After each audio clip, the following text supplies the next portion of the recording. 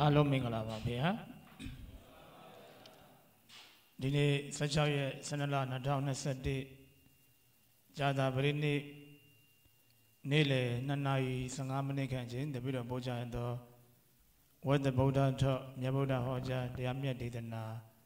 အပိုင်း92စတင်ပို့ချဖတ်ကြားပေးပါတော့မယ်ဗျာ။ online မှာကြည့်ရှုလေ့လာကြကုန်သော ညီငယ်ညီမငယ်များအားလုံးလည်းပဲမင်္ဂလာပါအားလုံးကိုစိတ်နှပြကျမ်းမာချမ်းသာကြပါစေလို့ဥစွာဆုတောင်းပတနာပြုပေးပါတယ်ဗျာတို့တို့ဒီနေ့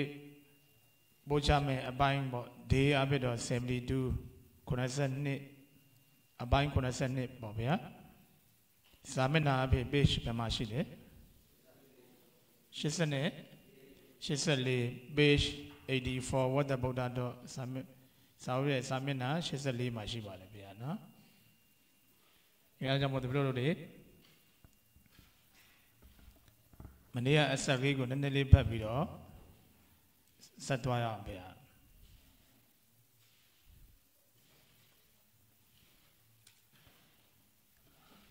အဲ့ဒီမှာမနေ့ကပြောခဲ့တဲ့အလေးပေါ့ပြန်ကြော့ကြည့်တာ The Buddha not only touched non-violence and peace But even went to the field that uh, if said in intervened personally and prevented war. As in the cause of the dispute between the Sacha and Kolia, who were prepared to fight over the question of the waters of the Roni. ဘာပြောလဲဆိုတော့မနေ့တော့ပြောခဲ့တဲ့အလေးပေါ့ဒါကတော့ပြန်ကြော့ပြီးတာမဖတ်ပြတော့ဘူးအသေးစိတ်မြတ်စွာဘုရားက non violence ဆိုတဲ့ဘာပြောတော့ ဘာလို့လဲဆိုတော့ပါတော့ဒီအဟိန္ဒလို့ခေါ်တယ်ဟိန္ဒလို့ခေါ်တဲ့ကြမ်းတမ်းမှုတွေကိုမလိုလားဘူးဒါကြောင့်အဟိန္ဒလို့ခေါ်တဲ့နန်းပွိုင်နဲ့တနည်းအားဖြင့်တော့ပါတော့အကြမ်းဖက်မှုတွေမလုပ်ဖို့ဆိုတဲ့အရာနဲ့ပြီးဆိုတဲ့ပါတော့ငြိမ်းချမ်းရေးကိစ္စတွေမှာတာလျင်တဲ့ not only touch ပါတော့အဆုံးမသင်ကြားပေးခဲ့တာမဟုတ်ဘူးမြတ်စွာဘုရားက နော်မင်းတို့အကြမ်းမဖက်ကြနဲ့တယောက်နဲ့တယောက်စစ်ပွဲတွေမဖန်တီးကြနဲ့လို့ဒါလည်းပဲပြောတာမဟုတ်သေးဘူးငြိမ်းချမ်းငြိမ်းချမ်းနဲ့နေကြပါဒါပဲပြောပြတာမဟုတ်ဘူးကိုယ်တိုင်လည်းပဲမြတ်စွာဘုရားကပါတော့နော် went to the field of the battle ဘာပြောတော့တိုက်ပွဲဖြစ်တဲ့ရက်တွေကိုတော့မြတ်စွာဘုရားကိုယ်တိုင်ကြွခဲ့ဘူးလေဒါလည်းမှတ်သားစရာနော်ဒါလည်းပဲမြတ်စွာဘုရားကိုယ်တိုင်တိုက်ပွဲဖြစ်တဲ့ဆိုတဲ့စစ်ပွဲဖြစ်တဲ့နေရာကိုကိုယ်တိုင်ကြွခဲ့တယ်ဒီနေ့ခေတ် ရဟန်းတော်တွေပေါ့ဥမာပေါ့ပရိပက္ခတွေဖြစ်နေတဲ့နေရာကိုကြွားတဲ့မကြွားတဲ့ငင်းကုန်တဲ့ခါကျရင်ဒီမှာကိုယ့်ဘက်ကိုလိုတဲ့လိုလိုအပ်ရရထောက်ထားပေါ့ဟုတ်တယ်နော်ပြီးတော့သွားတယ်ဆိုတာလက်ကမီးမွေးဖို့သွားတာမဟုတ်ဘူးသူအဓိကတော့ non violence နဲ့ peace ကိစ္စအတွက်သူတို့တွေအကြမ်းမဖက်ဖို့နဲ့ငြိမ်းချမ်းဖို့အတွက်သွားတာမီးမွေးဖို့သွားရဆိုတော့သွားလို့မရဘူးဆိုတဲ့သဘောအမှပြီးတော့ကကျ interpret personally in prevent war သူက personally ဆိုတာကပြောမှဆိုရင် ကိုယ်တိုင်ကိုကြပေါ့ပုဂ္ဂိုလ်ကြီးရဆိုတာကိုယ်တိုင်ကိုကြခေါ်တာပေါ့ personality ဆိုတာမြတ်စွာဘုရားကိုယ်တိုင်ပြောတာဘသူရဲ့တိုက်တွန်းမှုမှမပါဘူးဆိုရင်ဒါ personality ပေါ့နော်တိုက်တွန်းမှုမပါဘူးကိုယ်တိုင်ကိုကြပြီတဲ့ interban စစ်ပွဲတွေကိုဘာပဲဝါမလိုက်မှာပေါ့ interban ဆိုတာကကနေပေါင်းဆိုတာပါဝင်ပတ်သက်တယ်ဆိုတာဒီဖြန်ပြေပွဲတွေမှာဝင်ပါတယ်ဘသူမှလာပင့်တာမဟုတ်မြတ်စွာဘုရားကိုအရှင်ဘုရားကြွပါဟိုမှာတော့စစ်ပွဲတွေဖြစ်နေပြီအဲ့လိုပင့်တာမဟုတ်ဘူး ပင်ပိတ်ပပင်ပိတ်ချက်မရှိဘဲနဲ့ဗာပြောတာတော့ personally လို့ပြောတယ်ဗာပြောတာတော့သူ့ရဲ့ကိုယ်ပိုင်ဗာပြောတာတော့ပုံကိုယ်ရေးရမြတ်စွာဘုရားကိုယ်တိုင်ဆုံးဖြတ်ချက်အရာစစ်ပွဲတွေမှာသွားပြီး interban ပေါ့ပါဝင်ပတ်သက်ပေးတယ်ဘယ်မှတော့သွားပြီးတားမြစ်ပေးတယ်အပြီးတော့မှ prevent was စစ်ပွဲတွေကိုဒါ prevent ပေါ့တားမြစ်တာပေါ့ဖြန်ပြေးပေးတယ်တားမြစ်ပေးတယ်ပေါ့ဘယ်လိုပုံစံမျိုးတွေလဲဆိုတော့ as in the cause of the dispute between the Sajja and Kolia who were prepared to fight over the question of the water of Rohini ရောဟိနိမြစ်ရည်နဲ့ပတ်သက်ပြီးတော့မှပါတော့ကောလိယတိုင်းနဲ့စัจ जा တိုင်းသားတွေရဲ့အကြားမှာပါပြလာနော်ငင်းခုံတဲ့ကိစ္စမှာကဲ့သို့ပေါ့နော်အဲ့ဒါကထင်ရှားတဲ့ဒါ example ပေါ့ဥပမာပေါ့ထင်ရှားတဲ့ဒါ illuminate ပေါ့ illuminate ဆိုတာဒါဥပမာပြရုပ်ကြီးပဲတကြတိုင်းနဲ့ကောလိယတိုင်းနဲ့တိုင်းကြားမှာရှိတဲ့ရောဟိနိမြစ်မှာရေငင်းခုံကြတာအဲ့ပွဲမှာနော်စစ်ပွဲဖြစ်ဖို့သွေးချောင်းစီးဖို့ရှိတယ်ဒါကိုမြတ်စွာဘုရားကသိလို့ပါတော့ကိုယ်တိုင်သွားပြီးတော့တားတယ်ပြောတာ နောက်ပြီးတော့ his was once prevented king Ajatasattu from attacking the kingdom of the Viji ဒီတကူလည်းမဟုတ်သေးဘူးသူရဲ့စကားလုံးတွေသူရဲ့အဆုံးအမတွေကနောက်တစ်ခါလည်းပဲဒီမှာသိသလောက်ပြောတယ်ဝိဇိတိုင်းကိုဝိဇိတိုင်းပေါ့ဝိဇိဟာဝိဇိဆိုတာဝိဇိလို့ခေါ်တာပေါ့ဒီနေ့ခေတ်ဆိုတော့ဝိဇိလို့ဗမာလိုပြန်လို့ရတယ်ဒါပေမဲ့ကလားတွေလည်းပဲသူ့နိုင်ငံမှာအဲ့လိုပဲဝိဇိခေါ်တယ်နော်ဝိဇိတိုင်းတနည်းအားဖြင့်ဝိဇိဆိုတော့မင်းနေပြီးတော့ကိုတိုက်ဖို့အမှ ဘင်းအစာတက်ဆက်ကိုပါပြတော့မြတ်စွာဘုရားကတားခဲ့ဘူးတယ်မင်းသွားမတိုက်နဲ့တိုက်မယ်ဆိုရင်နော်ဘာဖြစ်မလဲသူအကျိုးကိုအကျိုးအဲ့လိုမျိုးတွေပေါ့ဒါအများကြီးရှိပါတယ်ဒါတွေကကိုမန်ကိုလေ့လာလို့ရတယ်နော်ဒါတော့သက်သွားအဲ့တော့ဒီနေ့ဒီလိုတော့သင်္ကန်းစာအသက်ရောက်ပြီပေါ့ဗျာနော်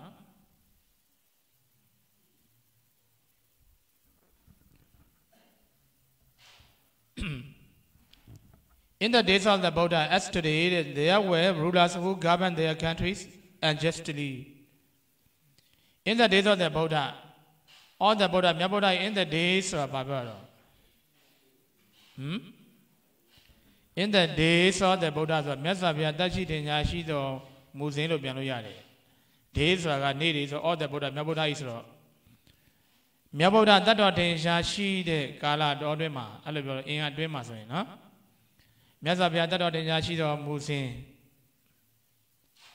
ဘယ်လိုလဲဆိုတော့ as today ယနေ့ခေတ်လို့ပေါ့အဲ့လိုပြောတာ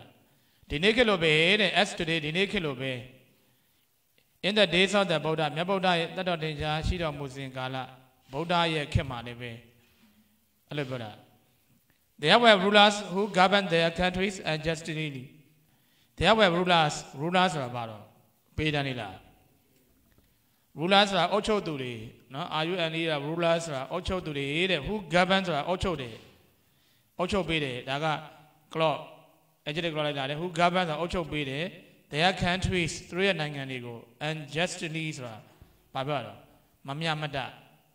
justice ဆိုတာတရားမျှတတယ်ဆို unjustly ဆိုတာဘာတော့မမျှမတမမျှမတဆိုတာတရားမဲ့ပေါ့ကွာအဲ့လိုပေါ့တရားမဲ့ပေါ့တရား မဲ့ပြုကျင့်တာပေါ့အဲ့ဒါပြောတာနော်မမျှမတဆိုတာသိပါပြီတရားမဲ့လို့ပဲပြန်ရင်ပြန်လိုက်ရပြီနော်အဲ့တော့ as today ဒီနေ့လိုပဲ in the days of the Buddha မြတ်ဗုဒ္ဓတတ်တော်တင်ရှားရှိစဉ်ကာလအတော်အတွင်းမှာပဲ there were rulers who govern their country and justly ဆိုတာ there were rulers who govern their country သူတို့ရဲ့နိုင်ငံတွေကိုတဲ့ who govern ဘာဖြစ်တော့အုပ်ချုပ်တယ်ဆိုတဲ့ဘယ်လိုအုပ်ချုပ်တာတော့ unjustly နော်မတရားအုပ်ချုပ်တယ်ဆိုတဲ့ there were rulers ပါတော့ အုပ်ချုပ်သူတွေနော်မင်းတွေပေါ့ကွာအုပ်ချုပ်သူလူတန်းစားမင်းတွေဘာတွေရှိတယ်ဆိုတဲ့အကြောင်းပေါ့နော်ရှိတယ်လို့ပြောတာကဲသွားမယ် people were oppressed in uh, exploited tortured in persecuted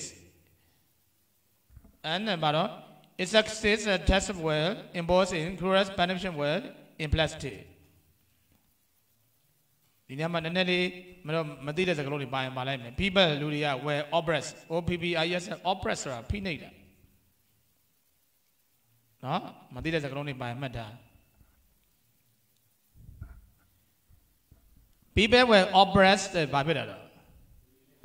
လူတွေကဖိနှိပ်ခံရတယ်ဗ passive oppressed ဆိုတာဖိနှိပ်ခံရတယ်နော်ဒီနေ့ခေတ်လို့ပဲလို့ပြောတယ်ဒီနေ့ခေတ်ရှိလို့လားလူတွေဖိနှိပ်ခံရတာနော် ဘဲစာဘုရားရှင်လက်ထက်တုန်းကရှိတာပြောနေတာဒီနေ့ခေတ်လို့ပဲနော်အမှကြည့် people were oppressed လူတွေကဖိနှိပ်ချုပ်ချယ်ခံရတယ် freedom မရှိဘူးကွာလွတ်လပ်လပ်မရှိဘူးပေါ့ဒါကိုပြောတာနော်အပြီးတော့ ESP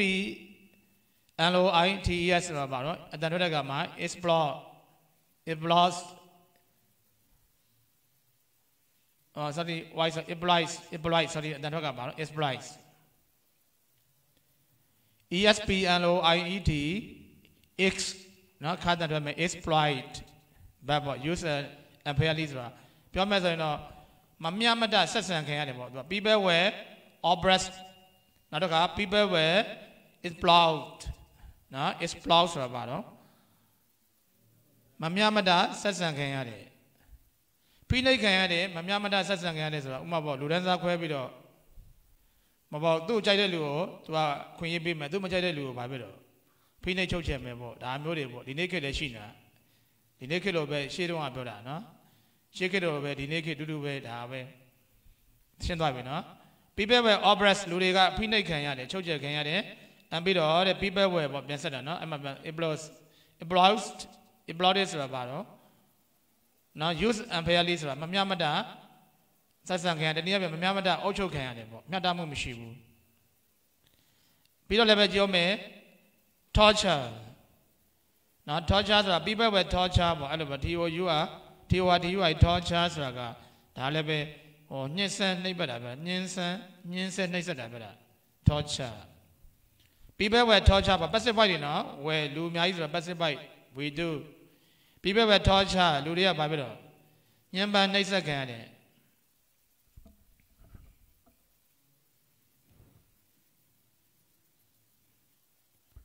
နှိပ်စက်ခံရတယ်သူတို့ဘာညှဉ်းဆန်းနှိပ်က torture torture ရဲ့ဖွင့်ဆိုချက်ကရှိတယ်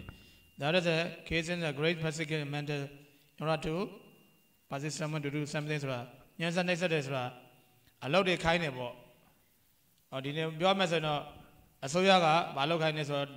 တိုင်းသူပြည်သားတွေကိုမြေကြီးတွေပေါက်ခိုင်းနေလို့ဒါထောချရဲ့သိပ္ပယ်อ่ะနော်လမ်းတွေတရားတွေကိုအစိုးရပတ်စံနဲ့စောက်အောင်မှအစားဘာခေါ်တော့ အိမ်တိုင်းထွက်အိမ်တိုင်းလှုပ်လှုပ်လူတိုင်းလှုပ်လှုပ်ဆိုပြီးဟိုးခေတ်လည်းရှိတယ်ပေါ့ဗကန်ခေတ်လည်းရှိတယ်ဘယ်ခေတ်ပဲဖြစ်ရှိပါလေဒီနေ့ခေတ်လည်း S today လို့ပါတယ်ဒီနေ့ခေတ်လည်းရှိတာပဲနေရာတိုင်းမှာဟုတ်တယ်မလားရက်တွေရွာတွေမှာကိုယ်မှစားစရာမရှိပါဘူးဆိုအမိတ်လာပြီးမလုပ်ရမှာတော့လမ်းတွေခေါ်လမ်းတွေဖောက်ရမယ်လို့တရားတွေဆောက်ရမယ်တဲတွေတဲရမယ်အဲ့လိုမျိုးပုံစံမျိုးလောက်တာကိုသူကထောချခေါ်တယ်ညင်စက်နှိပ်စက်တယ်ဆိုတာနှိပ်စက်တယ်ဆိုတာနော်ဟိုလက်တွေဖြတ်တယ်ခြေထောက်တွေဖြတ်တာမပါသေးဘူးအဲ့ဒါထောချမဟုတ်သေးဘူးနောက်တစ်ခုသွား အပြမ B R S U C U T E အမ persecute အ persecute ကြတော့လေနှိပ်စက်တာပဲညှင်းဆဲတယ်ပေါ့အဲ့ဒါတော့ကြည့်မယ်အဲ့ဒါကဘာလို့ညှင်းဆဲတာလဲဆိုတော့ sorry sorry ခုနထောချမှာကနှစ်ခုပါတယ်ထောချမှာက physical mental pain in order to pass away ဆိုတာဟုတ်တယ် physical mental pain ဆိုတာအဲ့မှာတစ်ခုပါသေးတယ်အဲလမ်းတွေတရားတွေပေါ့ခုနမြေကြီးတွေတဲခိုင်းတယ်ထောချနှိပ်စက်တယ် အဲ့တော့နေမပြီးသေးဘူးတတိယပြည့်နောက်တဲ့မလုပ်ဘူးဆိုရင်တော့မဟုတ်တို့ရဲ့အမိန့်ကိုမလိုက်နိုင်ဘူးဆိုရင်လက်တွေဖြတ်မယ်ခြေထောက်တွေဖြတ်မယ်လို့ရိုက်မယ်နှက်မယ်ကံမယ်ကြောက်မယ်အဲ့ဒါလည်းပါတယ်ထောချမှာပါသွားပြီနော်အဲ့လိုမှတ်မယ်သူရဲ့အဖွင့်ထဲမှာကြည့်ပြီးပြောရတာနောက်ပြ P R S E C U T ဆိုတာ persecute persecute လည်းပဲညှင်းဆဲနှိပ်စက်တယ်သူကဘယ်လိုနှိပ်စက်တာလဲဆိုတော့သူကသူ unfairly တဲ့အနေပေါ့နော် clearly ပေါ့ပြီးတော့ because of the race region political လို့မပြောမယ်နိုင်ငံရေးကြောင့်ဘာသာရေးကြောင့်လူမျိုးရေးကြောင့်ပေါ့သူအကြောင်းမျိုးပြပြီးတော့လူတွေကိုဘာဖြစ်လဲဆိုတော့ရရက်ဆက်ဆက်နဲ့မမျှမတဆက်ဆံတာအဲ့ဒါကို persecute လို့ခေါ်တာပေါ့တဘောနော် persecute အဓိပ္ပာယ်ကတော့ညှင်းဆက်နှိပ်စက်တာတော့နှိပ်စက်တာပဲဒါပေမဲ့ तू ကဘယ်လိုလုပ်တာတော့သူရဲ့ဖွင့်ဆိုချက်က persecute အဓိပ္ပာယ်ကလူမျိုးရေး race ပေါ့ဒီမှာပါပြီးသား ပြီးတော့ religion ဘာသာရေး political affair ဆိုနိုင်ငံရေးနဲ့ပတ်သက်ပြီးတော့နော်ဒါဒီနေ့ခေတ်မှာလည်းရှိတယ်ဆိုတဲ့အကြောင်းပြောတာဟုတ်တယ်နော်အဲ့ဒါပတ်သက်ပြီးတော့ဖန်စီညှင်းဆက်နှိပ်စက်တာဒါကပါတော့ persecute ခုန torture ညှင်းဆက်နှိပ်စက်တာကပါတော့သူတို့ခိုင်းတာတွေမလော့လို့တနည်းအားဖြင့်သူတို့ခိုင်းတာကိုလှုပ်ချင်းအားဖြင့်လည်းညှင်းဆက်နှိပ်စက်တာပဲဟုတ်တယ်မလားဟိုလမ်းတွေဖောက်ရမယ်တောတွေရှင်းရမယ်မလှုပ်ချင်တဲ့လှုပ်နေရတယ်ဒါလည်းညှင်းဆက်နှိပ်စက်တာလူတွေပြစ်မှန်းနေလေ နော်ဒါကိုပြောတာအဲ့လိုမျိုးတွေတဲ့ဘာဖြစ်တာတော့ခံရတယ်ပြောတာအဲ့တော့အချက်ဘယ်နှချက်တော့ကြည့်မယ်ပြန်ပြော people were oppressed ပြောကြည့်ပါ people were oppressed လူတွေကဘာဖြစ်တာတော့ဖိနှိပ်ခံရတယ်အပြီးတော့တဲ့ is browse ဆိုတာပါတော့ is browse ဆိုတာပါတော့လူတွေကမများမတာဆက်ဆံခံရတယ်အပြီးတော့ people were torture လူတွေကဘာဖြစ်တာတော့ညှင်းဆဲနှိပ်စက်ခံရတယ်အပြီးတော့ people were persecuted လူတွေကအဲ့လိုပဲနှိပ်စက်ခံရတယ်ဒါနော်ညှင်းဆဲခံရတယ်နှိပ်စက်ခံရတယ်အဲ့လိုပြန်ပြန် torture ကိုညှင်းဆဲတယ်ဆိုရင် persecute ကိုနှိပ်စက်လို့ပြောလိုက်ညင်းဆဲနှိပ်ဆက်ပေါ့အဲ့လိုပြန်လိုက်အဲ့လိုပဲပြန်လိုက်တူတူပဲဒါပေမဲ့ဖွင့်ထားတဲ့ဟာကိုဒီလိုခုနပြောပြီးသွားပြီရှင်းပြီးသွားပြီတောကြရဲ့ dictation ပေါ့ dictionary ဘယ်လိုဖွင့်လဲ persecute ဘယ်လိုဖွင့်လဲပြောပြီးသွားပြီเนาะသိသွားပြီပြီးတော့လည်းပဲမပြီးသေးဘူးပါကြီးတော့ ESC ESSIBE အတန်တို့ကမှာ excessive နော် sorry x ပေါ့နော် excessive ပြောကြည့်ပါတော့ excessive အတန်ထွက်မယ် excessive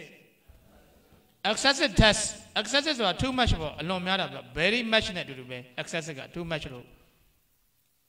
သူစာရေးသူကလွယ်တဲ့စကားလုံးလေးတွေမသုံးကျင်လို့ a lot of taxes လို့ပါလို့မသုံးကျင်လို့သူတဲ့ excessive ခက်ရနော်ဒါသူ ကျွမ်းကျင်ကြောင်းပြတာဝါပိုလာရာဟုလာဆရာတော်ကနော်ဘာပြောမလို့ excessive ပြော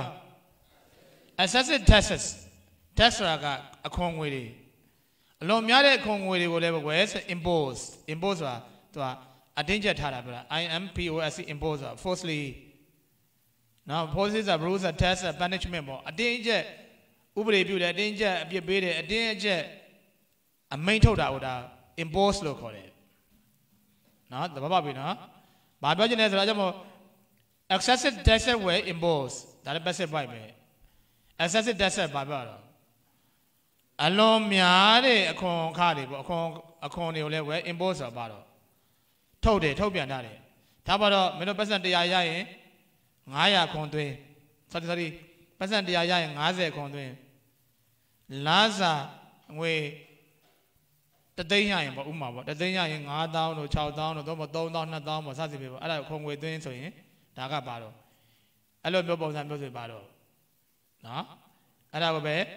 excessive tax လို့ခေါ်တာနော်အဲ့လိုမျိုးတွေထားတာပေါ့အခွန်တွေထားတယ်ဒီနေ့ကတည်းရှိတာပဲနိုင်ငံတိုင်းမှာအခွန်တော့ထားတယ်ဒါပေမဲ့အခွန်မထားနဲ့လို့ပြောတာမဟုတ်သူကပါတော့အခွန်ဘယ်လိုထားတာတော့အစမတန်ပေါ့ပြည်သူတို့ညှင်းဆက်နှိပ်စက်တဲ့ပုံစံမျိုးထားပြတာဒါပြောတာနော်အပြီးတော့ the cruelest punishment were implemented နော် inflict နော် inflict sorry cruel ဆရာရိုးရ cruel ဆိုရက်ဆက်တော့ရက်ဆက်တဲ့ကြမ်းကြုတ်တယ်ပေါ့ရက်ဆက်တဲ့ရုံမာတဲ့ကြမ်းကြုတ်တယ်တခုပြောရက်ဆက်တော့ cruel ခဏတွေဆရာရိုးရ cruelest punishment punishment ဆိုတာပါတော့ပြစ်ပေးမှုတွေဆိုတော့ product ကနေ sorry cruelest punishment were inflict i n f l i c t inflict ဆိုတာက inflict ဒါတော့ကခါတန်ထတန်လေးဆို inflict inflict inflict ဆိုတာကခံစားစေတယ်တနည်းအားဖြင့်တော့အကျိုးသက်ရောက်စေတယ်ပြောတာပေါ့တွေးကြုံစေတယ်ခံစားစေတယ်ပေါ့ experience လို့လို့ပေါ့ကြုံတွေ့စေတယ်ခံစားစေတယ်ပေါ့အတင်းကျပ်ခံစားစေတာပြောတာ inflict ဆိုတော့ဘယ်လိုပုံစံမျိုး cruelest punishment ဆိုတာကရက်ဆက်ရုံမာတဲ့အပြစ်ပေးမှုဆိုတာတခုပါအပြစ်တခုကိုကျူးလွန်တာနဲ့လက်တွေဖြတ်မယ်ခြေထောက်တွေဖြတ်မယ်ခေါင်းတွေ ဖြတ်မယ်လို့ပုံစံမျိုးဖြစ်မှာပေါ့နော်ပြီးတော့ပလင်းခွဲနဲ့ထိုးတယ်တို့ဓာတ်နဲ့ထိုးတယ်ဘာညာပေါ့ညှင်းဆက်နှိပ်ဆက်မှုအမျိုးမျိုးရှိတယ်အဲ့လိုမျိုးညှင်းဆက်နှိပ်ဆက်မှုတွေပါဝင်တဲ့ punishment ပါတော့အပြစ်မိုးမှုတွေကိုလည်းပဲ well in place ဆိုတာပါတော့ခံစားစေခဲ့တယ် passive voice ပဲနော်ဘယ်သူတွေကိုခံစားစေတာတော့တိုင်းသူပြည်သားတွေမလားဘယ်သူတွေကခံစားစေတာတော့အဲ့ခုန ruler ဆိုတဲ့ကောင်တွေမလားနော်ဒါကိုပြောတာဘယင်းတွေပေါ့အဲ့တော့ အဲ့တော့ the Buddha was deeply moved by these inhumanities the Buddha was deeply moved အမောဘွေးမှုကရွှေ့သည်လို့မပြန်နဲ့ဒီနေရာမှာမှုသည် feeling နဲ့အတူတူပဲအမောဘွေးမှုဆိုတာ feeling ခံစားရတာပြောတာသူက cause someone to have a strong feeling strong feeling ဆိုတာအလွန်ကြုံခံစားတာပြောတာနော်အလွန်ကြုံခံစားရတာဘယ်လိုခံစားရတော့အလွန်ကြုံခံစားရတာ အဲ့ဒါကြည့်မယ်ဘာသာပြန်ကြည့်မယ်နော်တဗုဒ္ဓမြတ်ဗုဒ္ဓက was deeply ဆိုတာအလွန်အကျွံပဲ was move ဆိုတာကခံစားရတယ်ပေါ့အနေပေါ်စိတ်ခံစားမှုတွေဖြစ်စေတယ်ဆိုတဲ့သဘော by the inhumanity and humanity ဆိုတာကလူသားမဆန်တာ humanity ဆိုတာလူသားဆန်မှု and ပါတဲ့အခါကျတော့ inhumanity ဆိုတာပါတော့လူသားမဆန်မှုရှင်းတယ်နော်လူသားမဆန်မှုဆိုတာဘာပြောရလဲ ခုနပြောသလိုပေါ့တိုင်းပြည်တိုင်းပြည်ကိုအုပ်ချုပ်တဲ့အခါမှာပါတော့လူလိုအုံမချုပ်ဘူးပေါ့ငမော်ပြောသလိုဆိုဘယ်လိုပြောတာကြားဘူးလားအမတ်တရရှင်းပါတော့လူလိုမလုပ်ဘူးဆိုတာလေကြားဘူးလားအဲ့တော့တိုင်းသူပြည်သားတွေကတိုင်းသူပြည်သားတွေကိုဘယ်လိုပြောတာတော့လူလိုအုံမချုပ်ဘူးအဲ့ဒါကိုပဲ inhumanity ဆိုတာပါတော့လူသားမဆန်တာပေါ့ဘိုင်းဒီ inhumanity တဲ့ဒီလိုလူသားမဆန်မှုတွေက ဒါဗုဒ္ဓမြတ်စွာဘုရားကိုတဲ့ west deeply move ဆိုတာဘာလို့အလွန်မဲ့ပါပဲတော့စိတ်ခံစားမှုတွေဖြစ်စေတယ်ပေါ့မြတ်စွာဘုရားတော်မှာကြေကွဲရတယ်ဆိုတဲ့သဘောပေါ့ဒါမျိုးပြောတာပေါ့ဒါတပိတော့ကဟိုမြန်မာလိုမင်းတို့နားလည်အောင်ပြောတာကြေကွဲရတယ်ဆိုမြတ်စွာဘုရားတော်အဲ့လိုမရှိဘူးဒါပေမဲ့လည်းသူမှာတော့ကရုဏာမေတ္တာတွေရှိတာပဲလေစနတ်စေစံပတိမြတ်စွာဘုရားမှာကိုကျင်းစာတရားကရုဏာတရားရှိတာပဲနော်ခံစားရတာပေါ့ဟုတ်တယ်မလားအဲ့တော့ရပြီနော် ဆက်သွား the Dhammapada Thakatha record the he therefore direct his attention to the problems of good government therefore ဒါကြောင့်ပဲဒါကြောင့်ပဲဆိုတာဘာပြောတာမြတ်စွာဘုရားကိုယ်တိုင်လူသားမဆန်မှုတွေကိုဘာတော့တွေးရတဲ့အခါမှာသူကဘာတော့စိတ်ခံစားမှုတွေဖြစ်ရတဲ့အတွက်ကြောင့်တရားဖို့ဆိုအဲ့ဒီအတွက်ကြောင့်ပြောတာတရားဖို့ထိုးအတွက်ကြောင့်ဆိုတာနော်မြတ်စွာဘုရားကိုယ်တိုင်နဲ့လူသားမဆန်မှုတွေကနော်သူ့ကိုဘာတော့စိတ်ခံစားမှုတွေဖြစ်စေတဲ့အတွက်ကြောင့် ဓမ္မကရဓမ္မပဒထာကရမှာ record ဆိုတာမှတ်တမ်းတင်ထားတဲ့သက်ဆိုတာကိုပေါ့ဘလို့စဉ်းစားဆို he မြတ်ဗုဒ္ဓက direct ညွှန်ကြားတယ် his attention သူ့ရဲ့ဒီ attention ဆိုတာသူ့ရဲ့ဒီအာရုံစိုက်မှုကို direct ဆိုတာညွှန်ကြားတယ်ဆိုတာအာရုံစိုက်တယ်ပေါ့ကွာဒါရိုက်အာရုံစိုက်တယ် direct his attention ဆိုတာသူဒါရိုက်အာရုံစိုက်တယ်လို့ပြောတာ to the problem ဆိုတာ good government ပါတော့ good government ဆိုတာကောင်းမွန်တဲ့အစိုးရတရားတရားရဲ့တက်မှရှိမယ်ပါတော့ ပါတော့ to the problem ပါတော့ပြဿနာတွေကိုမမဆန်ဆိုလိုချင်တာကဒီအစိုးရကကောင်းတဲ့မှလေးရမကောင်းသွားတာဒါပေမဲ့ဒီပြဿနာပေါ့ဒီ good government clean government ပေါ့တန်ရှင်းတဲ့ government အစိုးရဖွဲ့ကောင်းတဲ့အစိုးရဖွဲ့ရဲ့မှာရှိတဲ့ပြဿနာတွေကိုလည်းမြတ်စွာဘုရားကဗာပြတော့သူ့ရဲ့ဒီ attention ဆိုတာ तू ကအောင်ဆိုင်ပြီးတော့ဓာတ်ရိုက် तू ကပါတော့ဒီညွန်ကြားတယ်သုံးဖို့ဓာတ်ရိုက် तू ဟောပြောတယ်ဆုံးမတယ်ဆိုတဲ့သဘောပြောတယ်အဲ့ဒါကိုဗမာ record လုပ်ထားတယ်ဆိုတာကိုတဲ့ဓမ္မပဒထကရာမှာပါတော့ record ဆိုတာပါတော့ မှတ်တမ်းတင်ထားတာရှိတယ်ဒါပြောတာနော်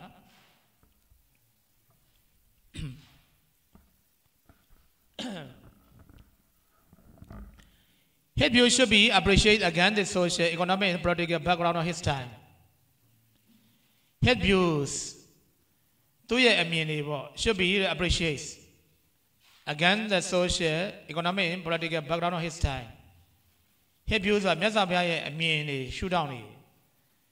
အဲ့ဒါတွေကို should be appreciated ဆိုတာကျင့်တဲ့လက်ခံတဲ့နေမလား appreciate ဆိုတာကျင့်တဲ့လက်ခံတယ်သဘောကျတယ်နှစ်သက်တယ်အကျက်တယ်လို့ပြော his views ပါပြောတာသူရဲ့အမြင်တွေကိုလည်းပဲ passive ပိုက်ပဲနော် should be appreciate appreciate ခဏပြောပါပဲတော့ကျေနပ်တဲ့နဲ့လက်ခံတဲ့နဲ့လို့ပြောတာသဘောကျတဲ့နဲ့နှစ်သက်တဲ့နဲ့ကျက်တယ်လို့ပြောဘယ်လိုလဲဆိုတော့ again ဆိုတာစန့်ကျင်ပြီးတော့ the social economics and political background of his time his time ဆိုတာမြတ်စွာဘုရားရဲ့အချိန်ဆိုတော့ his time သူ့ရဲ့အချိန်ဆိုတာဘာပြောတော့မြတ်စွာဘုရားတတ်တော်တင်ကြားရှိတဲ့ရှိတော်မူစဉ်လို့ပြောတာ his time ဆိုတာသူ့ရဲ့အချိန်ဆိုတာနော် all his time မြတ်စွာဘုရားတတ်တော်တင်ကြားရှိတဲ့ကာလတုန်းမှာဖြစ်တယ်တဲ့ social background ဆိုတာပါတော့လူမှုရေး background ဆိုတာလူမှုရေးအခြေအနေတွေ background ကိုဒီမှာ situation နဲ့အတူတူပဲအခြေအနေလို့ပြန်မယ် background ဆိုတာပါတော့အခြေအနေလူမှုရေးအခြေအနေတွေ economic background ဆိုတာပါတော့ စီးပွားရေးအခြေအနေတွေအနောက်ပြီးတော့ political background ဆိုတာပါတော့နိုင်ငံရေးအခြေအနေတွေနိုင်ငံရေးအခြေအနေနဲ့ again ဆိုတာဆန့်ကျင်ပြီးတော့အဲ့လိုပြောတာရှင်းတယ်နော်ဆန့်ကျင်ပြီးတော့ his view should be appreciate သူရဲ့ပါတော့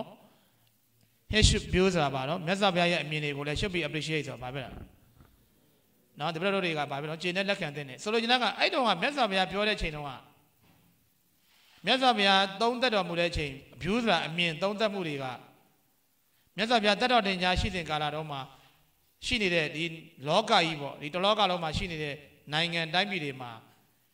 မြတ်စွာဘုရားရဲ့ view တွေကဘာနဲ့ဆန့်ကျင်တာတော့သူလက်ရှိသူတို့ကာလမှာဆိုရင်မြတ်စွာဘုရားတတ်တော်တင်ညာရှိတဲ့ကာလမှာဆိုရင်ဘာဖြစ်တော့စီးပွားရေးရောလူမှုရေးရောနိုင်ငံရေးတွေမှာရောဘာဖြစ်တော့ဆန့်ကျင်ဘက်တွေဖြစ်နေတယ်လို့ပြောတာတပတ်ပေါ့လားမြတ်စွာဘုရားနဲ့အမြင်နဲ့သူတို့လက်ရှိဖြစ်နေတဲ့ဖြစ်ပျက်တွေကဘာဖြစ်တာအဲ့ခေတ်တုန်းကလည်းဘာဖြစ်တာ his time ဆိုတာသူကာလပေါ့မြတ်စွာဘုရားကာလမှာလည်းပါပြောစံကျင်ဘတ်တွေဖြစ်နေတယ်ဆိုတော့ကျန်မြတ်စွာဘုရားကလူတွေမတက်နဲ့ညင်းစက်နဲ့မနှိမ့်ဆက်နဲ့တိုင်းသူပြည်သားတွေကိုဒီလိုအုပ်ချုပ်ပါလို့မပြောဘူးလားပြောတော့လည်းပဲဘာဖြစ်တော့မရဘူးတိုင်းသူပြည်သားတွေကဘာဖြစ်တာလဲ sorry မေရင်တွေကဘာဖြစ်တာလဲညင်ပန်းနှိမ့်ဆက်ပြီးတော့အုပ်ချုပ်နေတာမလားအဲ့တော့ဘယင်ခေတ်ပိုတော်ဆိုးတဲ့ kings dam နေပြီဒီနေ့ခေတ်ကမှ democracy ခေတ်တွေတော်တော်များများရှိတယ် democracy ဆိုတာနည်းနည်းလေး တက်တာသေးတယ်ပေါ့ပြောမှဆိုရင်နော်တဘောပါပြီနော်အဲ့တော့စမ်းကျင်ပြီးတော့သူ့ရဲ့အမြင်တွေကိုဗာပြတာတော့ appreciate ဆိုတာလက်ခံတဲ့နဲ့ကျင်တဲ့တဲ့နဲ့ပြောတာကဲတော့မယ် he has shown how the whole country could become correct the generation unhappy when the head of the government head of if government that is the king the minister and the administrative officer began correct and just နော်အဲ့မှာတလို့မြန်ပြောပြမယ် တပိတော့ဖတ်တာတော့နည်းနည်းမြန်မြန်လိုက်မယ်လောက်ပဲသွားတော့ he has shown ဆိုတာကသူကပြခဲ့တယ်ဘာသူကပြတာမြတ်စွာဘုရားကပြသခဲ့တယ်ရှိုးရှွန်းပြခဲ့တယ်တဲ့ဘယ်လိုပြလဲဆိုတော့ဒါကလက်သိစေခြင်းလို့ဟောင်းနေလိုက်တယ် how the whole country ဟောင်းဘယ်လိုမျိုး whole country ဆိုတာပါတော့တနိုင်ငံလုံးကနိုင်ငံတစ်ခုလုံးကတဲ့ could become correct could become ဖြစ်လာနိုင်တဲ့ correct c o r e c ကို correct ကော်ရတော့မလို့နဲ့ correct ဖတ်တန်ထတ်တန်လေးပဲ correct prep ဆိုတာပါတော့အကျင့်ပြတ်တာတနည်းအားဖြင့်တော့ခြာစားတယ်ခေါ်တာပေါ့ correct ဖြစ်တယ်ဒီနေ့သုံးသုံးနေဒီစကလုံးတွေပဲသုံးတာ correct ဖြစ်တယ်လို့ပြောတာနော် correct ဖြစ်တယ်ဆိုတာခြာစားတယ်အကျင့်ပြတ်တယ်အပြီးတော့ degenerate DG NEI degenerate ဆိုတာက degenerate ဆိုတာကသူကရုပ်ကြတာရုပ်လျော့တာ ရုပ်လျော့တယ်ဂျိုယွင်းတယ်ကြာဆင်းတယ်ပေါ့အများကြီးပဲပေါ့ဘလို့ပြပြန်လျော့ကြတယ်တိုင်းပြည်ကစီးပွားရေးနှိမ့်ကြတယ်ကိုကျင်တရားတွေနှိမ့်ကြတယ်ပညာရေးနှိမ့်ကြတယ်အဲ့ဒါကိုမျိုးပြောတာ degenerate နှိမ့်ကြတယ်ရော့ကြတယ်ရုပ်လျော့တယ်ဘလို့သုံးတော့ခုဗမာပြည်မှာဆိုဘလို့သုံးတော့နှိမ့်ကြတယ်သုံးတာလားအဲ့ဆိုကနှိမ့်ကြတယ်ပဲသုံးလို့ရတယ် degenerate ကအပြီးတော့ unhappy ဆိုတာပါတော့မပြောရှင်တာအဲ့ဆိုတော့ကြည့်မယ်၃မျိုးပြောမယ် how the country how a whole country could became ဖြစ်လာနိုင်တယ် became ဖြစ်လာနိုင်တယ် correct ဆိုတာပါတော့ဘယ်လိုမျိုးပေါ့နိုင်ငံတစ်နိုင်ငံကဘယ်လိုမျိုးအချင်းပြတ်မှုတွေဖြစ်လာနိုင်တယ်ဘယ်လိုမျိုးဗာဖြစ်တော့ဆုပ်ယုပ်မှုတွေဖြစ်လာနိုင်တယ်ဘယ်လိုမျိုး unhappy တွေဗာတော့မပြောမရှင်မှုတွေဖြစ်လာနိုင်တယ်ဆိုတာကိုအဲ့လောက်ပဲမှတ်ထားအောင် he has shown တော့ဗာတော့သူကဗာတော့ပြသခဲ့တယ်မီးမောင်းထိုးပြရတယ်ပေါ့အဲ့လိုပြန်လဲရတယ်မြတ်စွာဘုရားကမီးမောင်းထိုးပြတယ်ဆိုတာတိုင်းသူပြည်သားတွေ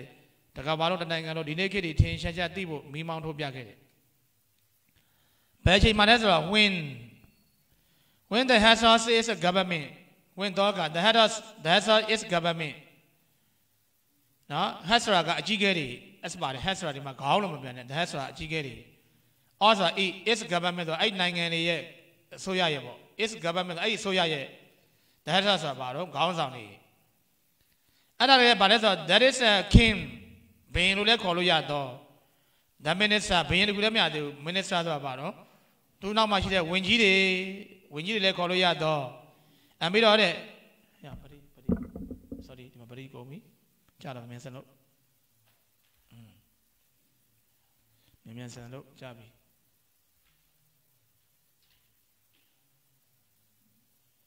လမ်းကြည့်လိုက်လို့อืมရပြီ ဆက်သွားမယ် ministers ဝန်ကြီးတွေပေါ့ဝန်ကြီးချုပ်တွေပေါ့အကုန်ပါတယ်အပြီးတော့ administrative officer administrative ဆိုတာကစီမံခန့်ခွဲရတော့စီမံခန့်ခွဲပိုင်ခွင့်ရှိတော့ပေါ့ officer ဆိုတာအရာရှိတွေစီမံခန့်ခွဲခွင့်ရတဲ့အရာရှိဆိုတာကွာပြောရမယ်ဆိုတော့အုပ်ချုပ်ရေးမှူးတို့ယာယီမှူးတို့အစအဲ့ဒီထက်ကိုတက်ယာယီမှူးအုပ်ချုပ်ရေးမှူးတနည်းကမြို့နယ်မှူးတို့ နော်ဘယ်ဒီကြောင့်မလဲတိုင်းမှူးတို့အဲ့ဒီပေါ့နော်တနည်းအားဖြင့်တော့ဘာခေါ်မလဲဝင်းကြီးချုပ်ပေါ့အဲ့လိုမျိုးတွေကြီးပေါ့နော်အဲ့ဒီကိုပြောတာအဲ့ဒါတွေကတဲ့ become correct in injustice ဘာပြောတော့ began correct ဆိုတာပါတော့အချင်းပြတ်တွေအချင်းပြတ်လာတယ်အပြီးတော့ unjust ဆိုတာပါတော့မမြတ်မတအုပ်ချုပ်လာတယ်အမှဝင်းမှာသွားဆက်ပါတော့အခါမှာသဘောပေါက်လားဆိုတော့ပြောချင်တာက အဲ့ကစပြန်မှာဝင်းဆိုတဲ့ကိုညင်းချင်းကစပြန်တော့မယ်နော် when the head of is government that is the king the minister and the ministry officer ဘာသာစပြန်မယ်နော် that is the king ဘယင်လို့ခေါ်ရတော့ the minister ဝန်ကြီးချုပ်တွေလို့ခေါ်လို့ရတော့အပြီးတော့ the ministry officer စီမံခွန်ခွန်ခွဲပိုင်ခွင့်ရှိတဲ့ရာရှိတွေလို့ခေါ်လို့ရတယ်ဆိုလေတဲ့ is government အဲ့ဒီဆိုရရဲ့ the head ဆိုတာပါတော့အကြီးအကဲတွေက when become correct and justice ပါတော့ correct ဆိုတာပါတော့အချင်းပြတ်ခြားစားပြီးတော့ unjust ဆိုတာပါတော့မမျှမတတရားမမျှတပဲနဲ့အုပ်ချုပ်လာမယ်ဆိုတဲ့အခါကြရင်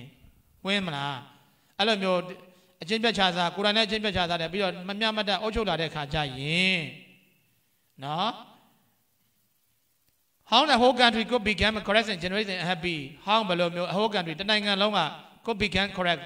အချင်းပြတ်လာမယ်ပြီးတော့ degenerate ဆိုတာပါတော့ ဆုပ်ယုပ်လာမယ်ယိုယွင်းလာမယ်ပြီးတော့ happy ဆိုတာပါတော့တိုင်းသူပြည်သားတွေကပျော်ရွှင်မှုဖြစ်မလာတော့ဘူးဆိုတာကိုလည်းပဲနော်ဘယ်လိုမျိုးပေါ့ပျော်ရွှင်မှုဖြစ်လာဆိုတော့လေ he has shown ဆိုတာပါတော့မြတ်ဗုဒ္ဓကမိမောင်းထိုးပြခဲ့တယ်တေချာကိုပြသခဲ့တယ်နော်ရှင်းတယ်နော် and for a country to be happy it must have a just government for a country တဲ့နိုင်ငံတစ်နိုင်ငံအတွက်ကိုယ်နိုင်ငံအတွက်ပဲပြောပြောနော် မြန်မာနိုင်ငံအတွက်ပဲပြောပြောကလားနိုင်ငံအတွက်ပဲပြောပြောဘယ်နိုင်ငံမှဖြစ် for a country နိုင်ငံတစ်ခုအတွက်တော့တဲ့ to be happy တိုင်းသူပြည်သားတွေပျော်ရွှင်ဖို့အတွက်ဆိုရင် it must has အဲ့နိုင်ငံမှာ must has ရှိရမယ် a just government just government ဆိုတာဘာတော့မျှတတဲ့အစိုးရဖွဲ့ရှိရမယ်တရားမျှတတဲ့အစိုးရဖွဲ့ရှိရမယ်နော်ဒါလေးပဲကဲဆက်သွား How they found out just government could be realized is explained by the Buddha in his teaching of the ten duties of the king. That's a Raja Dhamma as given in the Jagada text. How Balomyo they found out just government could be realized. နော်ဘာသာပြန်ကြည့်မယ်ဒါ subject လေးဟောင်းဘယ်လိုမျိုးတဲ့ this form of just government just government ဆိုတော့ခုနပြောပါတော့မျှတတဲ့အစိုးရ မျှတတဲ့အစိုးရ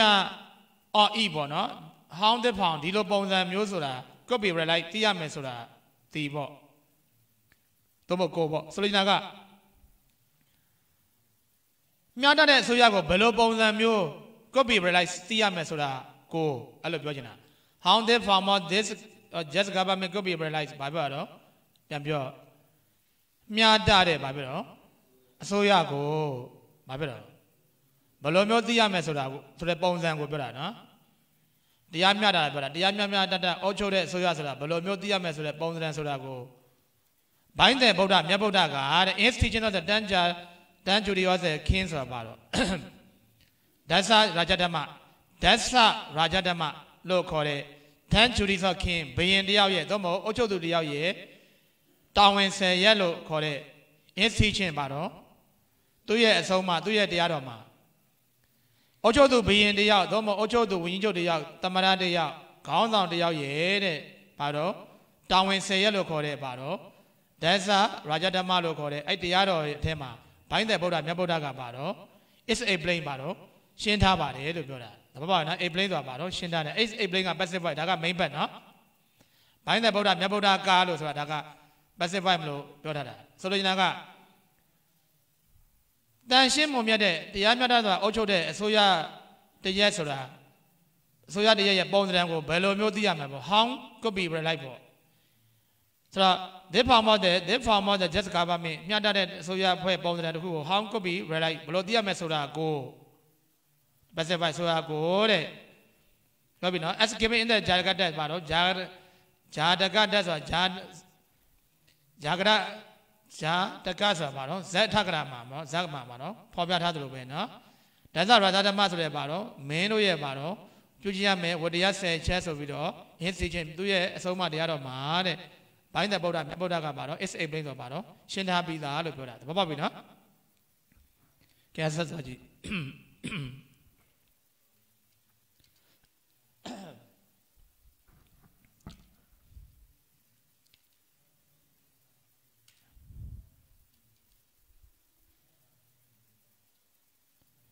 Of course,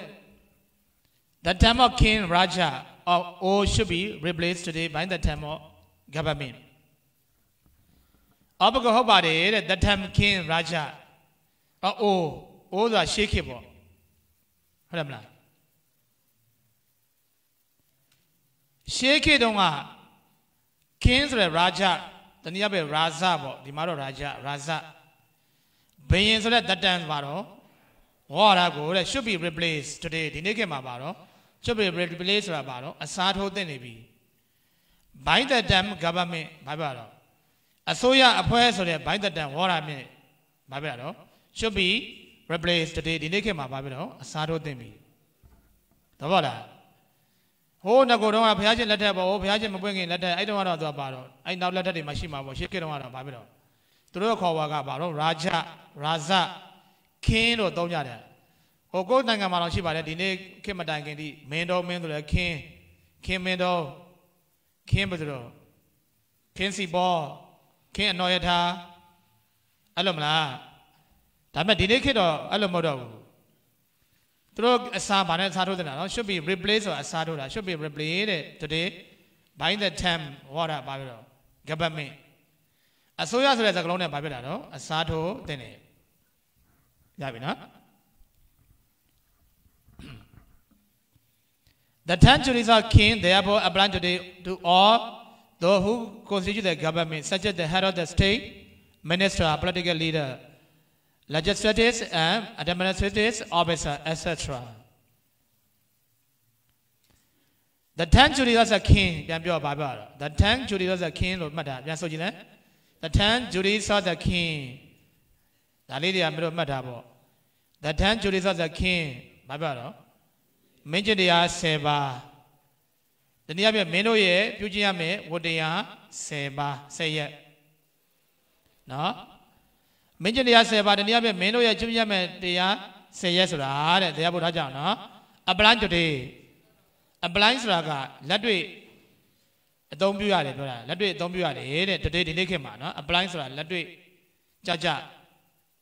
အသုံးပြုရမယ်လက်တွေ့ကြကြပြောရမယ်ဆိုရင်အသုံးပြုရမယ်လက်တွေ့ကြကြမလုပ်ရမှာတော့လှုပ်ဆောင်ရမယ်ပေါ့လူတွေကငါးပါးသီလစောင့်တည်တယ်ပေါ့ရန်တော်တွေကလည်းရန်ကျင့်ဖို့စောင့်တည်တယ်မင်းကလည်းမင်းကျင့်ဖို့စောင့်တည်ရမယ်အဲ့မင်းကျင့်ဖို့10ပါးကိုလိုက်နာရမယ်ပြောတာ apply ဆိုတာလိုက်နာရမယ်ကျင့်သုံးရမယ်ပြောတာဘယ်သူလဲဆိုတော့ today ဒီနေ့ကတော့ to all though အဲ့ဒီလူတွေမင်းကျင့်တရား10ပါးကိုမင်းတယောက်တည်းမဟုတ်ဘူး to all though တဲ့ who constitute the government နော် to all though ဆိုအဲ့ဒီပုံကိုယ်တွေအကုန်လုံးက apply လုပ်ရမှာကျင့်ရမှာဘယင်ဆိုပြီးတော့ဘယင်တယောက်တည်းကျင့်နေလို့မရဘူး။အိုးတမရပေါ့တမရတယောက်တည်းကကျင့်နေလို့မရဘူး။မင်းကျင့်တရားဆက်ပြားတမရတယောက်တည်းပဲကိုရောစိတ်ရောနော်မနောပေါ့ကျင့်နေလို့မရဘူး။နန်းတော်တွေရတယ်သို့မဟုတ်လွတ်တော်တွေရတယ်။အဲကြောင့်မို့သူက today to all though လို့ပြောတယ်။မင်းတယောက်တည်းမဟုတ်ဘူးဘာပြောတော့အကုန်လုံး။ဘာလို့လဲ who constitute the government ဒီအစိုးရလိုပဲလုံး constitute ဆိုတာကဒီဟာဟိုနေ့ပြတာပေါ့ constitute ဆိုတာကဖွဲ့စည်းထားတာကွန်စတီကျူဆိုတာဖွဲ့စည်းတာအစိုးရတစ်ခုလုံးကိုဖွဲ့စည်းတယ်ဆိုတဲ့လူတွေအစိုးရဖွဲ့လူတွေအကုန်လုံးပြောတာအဲ့လိုအရှင်းပြန်မယ်ဆိုရင်တူအပ်သော who constitute the government အစိုးရဖွဲ့တစ်ခုလုံးကိုဖွဲ့စည်းရလူတွေဆိုတော့အစိုးရတစ်ဖွဲ့လုံးလို့ပြောတာသဘောပေါက်တယ်နော်မင်းကျင်တရား10ပါးကိုကျင့်ဆိုတာကဘယင်တယောက်တည်းကျင့်ခိုင်းတာမဟုတ်ဘူးဒါကိုပြောတာနော်ရှင်းသွားပြီဘာပြောတာတော့ to all those who constitute the government ပြန်ပြောဘာကိုပြောတာတော့အစိုးရတစ်ဖွဲ့လုံး တနည်းအားဖြင့်လာလိုက်မယ်ဘယ်ထိပါမလဲဆိုတာကြည့်ဆက်ချက်တကဲ့သို့လာပြီဆက်ချက်ဆိုတာဘာတော့တကဲ့သို့ဒီလိုမျိုးကောင်းနေဒီလိုမျိုးလူတွေပေါ့နော်ဘယ်သူတွေပါမလဲနော် at the head of the state နိုင်ငံရဲ့ the head ဆိုတာအကြီးအကဲတယောက်နော်နိုင်ငံရဲ့အကြီးအကဲတယောက်လည်းပါတယ်ဘယ်သူလဲတော့မပြောတော့ဘူးဘယ်သူတော့နော်အမေရိကန်မှာဆိုရင်တော့နိုင်ငံရဲ့ the head of the state ဆိုတာဘာတော့ state ဆိုတာဒီမှာပြည်နယ်မပြောနဲ့ state ဆိုတာနိုင်ငံကိုပြောတာ such as the head of the state ဆိုနိုင်ငံရဲ့အကြီးအကဲဆိုတာဘယ်လိုနိုင်ငံအမေရိကန်မှာဘယ်လိုရှိတော့ဂျိုးဘိုက်ဒန်ပေါ့ဒါပြောတာနော်အပြီးတော့ကျ minister ဆိုတာဝန်ကြီးတွေအဲဝန်ကြီးတွေဆိုတာကဘယ်သူလဲဘယ်သူလဲတော့ဝန်ကြီးတွေဆိုတာသိလားငါလည်းမသိဘူးမင်းတို့လည်းမသိအမေရိကန်ပြောနေတာဘယ်သူမှသိမှာမဟုတ်ဘူးနော်ပြည်နယ်ပြည်နယ်ဝန်ကြီးတွေပြောတာပေါ့ပြည်နယ်ဝန်ကြီးတွေဖြစ်လိုက်မယ်တနည်းအားဖြင့်ဝန်ကြီးချုပ်တွေပါလိုက်မယ် နော်ဒါတွေပါတယ်ဝင်ကြီးဆိုအကုန်ပါပြီနောက်တစ်ခါ political leaders နိုင်ငံရေးခေါင်းဆောင်တွေအကုန်ပါပြီနိုင်ငံရေးခေါင်းဆောင်ပါတီခေါင်းဆောင်အကုန်ပါပြီကွန်ဂရက်ကောဒီမိုကရက်တစ်ကောကွန်ဆာဗေးတစ်အကုန်ပဲအကုန်လုံးအကုန်လုံးအဲ့ဒါကို political leader နိုင်ငံရေးခေါင်းဆောင်တွေအကုန်လုံးတနည်းအားဖြင့်ပြော political leader ဆိုတာနော်အဖွဲ့အစည်း group တွေမှာဝင်လုပ်နေတဲ့နိုင်ငံရေးဝင်လုပ်နေတဲ့ပုံကိုယ်တွေအကုန်လုံး နောက်ပြီးတော့ဆက်သွား LEGIS LATIMB ကိုအတန်ထွက်တဲ့ကမှာ legislative status ဆိုတာ legislative ဆိုတာကသူက ready to the law or making of the law ပေါ့ဥပဒေပြုတဲ့နော်ဥပဒေပြုတာပြောတာ officer မှာဆက်မှာနော်ဥပဒေပြုတဲ့အရာရှိတွေဆိုတော့ဥပဒေအရာရှိတွေပေါ့မှာပေါ့ဥပဒေအရာရှိဆိုတာတရားသူကြီးတို့ရှင်းနေတို့ဘာညာဟိုကတော့တရားသူကြီးတရားသူချုပ်တွေပေါ့အဲ့လိုပေါ့အစသဖြင့်ပေါ့ဥပဒေပြုတယ်တရားဆွဲတဲ့လူတွေ တနည်းအားဖြင့်တော့ဒီဟို legislative officer ဆိုတာဥပဒေပြုတဲ့လူတွေလွတ်တော်မှာလည်းပဲဒါဥပဒေရေးရတွေကိုပါတော့ဒါပြုပြင်မယ်ပြင်ဆင်မယ်ဆိုတဲ့လောက်ခွင့်ရတဲ့လူတွေပြောတာဒါကိုပြောတာနော်အပြီးတော့တဲ့ administrative officer မှတ်ထားမယ်နော် administrative A D M I N I S T R A T I V administrative officer တစ်ခေါက်ဆိုရင်လည်းအတန်ထွက်လေးနော် admin နော် admin administrative officer ပြော administrative နော် mid နစ်လို့ထပ်မယ်နော် administrative officer ပေါ်မှာကျတော့ legislative officer ဥပဒေပြုတဲ့အရာရှိတွေရောအရာရှိအရာငယ်တွေပေါ့ပြီးတော့လည်းပဲစီမံအုပ်ချုပ်တဲ့ administrative ဆိုတာစီမံခန့်ခွဲအုပ်ချုပ်တဲ့အရာရှိအရာငယ်တွေဘယ်ဒီယူမလဲဆိုတော့ခုနပြောသလိုပေါ့ဟိုကျွန်တော်ဝင်းကြီးချုပ်တွေကစအုပ်ချုပ်တယ်ဆိုတော့ဝင်းကြီးချုပ်တွေပြီးရင်ပြည်နယ်အုပ်ချုပ်ရေးမှုစတီပြည်နယ်အုပ်ချုပ်ရေးမှုတွေတိုင်းအုပ်ချုပ်ရေးမှုတွေပြီးရင်ဘာပါမလို့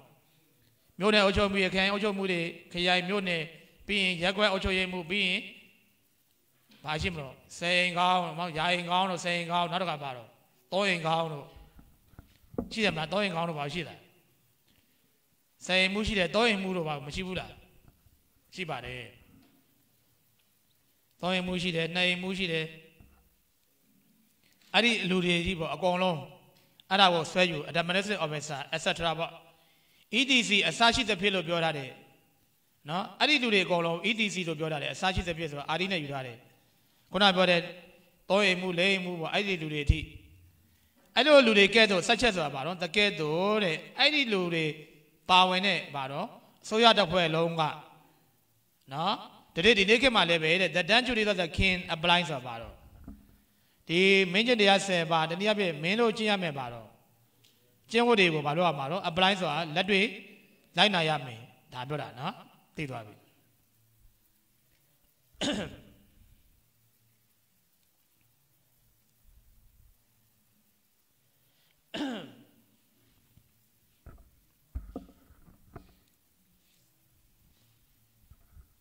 ဆက်သွားကြည့်ဘာလဲဆိုတော့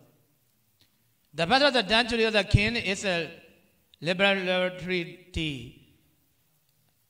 I B E R A L I T Y ကိုတန်တဲ့ကမှာ liberality Then of the uh, dentary of the king is a liberality generosity charity ဒါန The path of the dentary of the king ဘာပါတော့မင်းကျင့်တရား10ပါးရဲ့ the path jury ပထမဆုံးတာဝန်ပေါ့ပထမဆုံးလိုက်နာရမယ်ကျင့်ဝတ်ပေါ့မင်းတို့ကျင့်ရမယ်ပေါ့မင်းကျင့်တရား10ပါးတဲ့ဆိုရင်မင်းတို့ကျင့်ရမယ်ကျင့်ဝတ်တရား10ပါးတဲ့က the first ပထမဆုံးကျင့်ဝတ်ကတော့တဲ့ is L I B E R A L I T Y ကိုအတန်ထွက်တဲ့ကမှာ liberality အတန်ထွက်ကြည့် liberality liberality ဆိုတာသူကရရောချင်းလို့ရတယ်ရရောတယ်ပေးကမ်းတယ်ဆိုတဲ့သဘောပါပဲ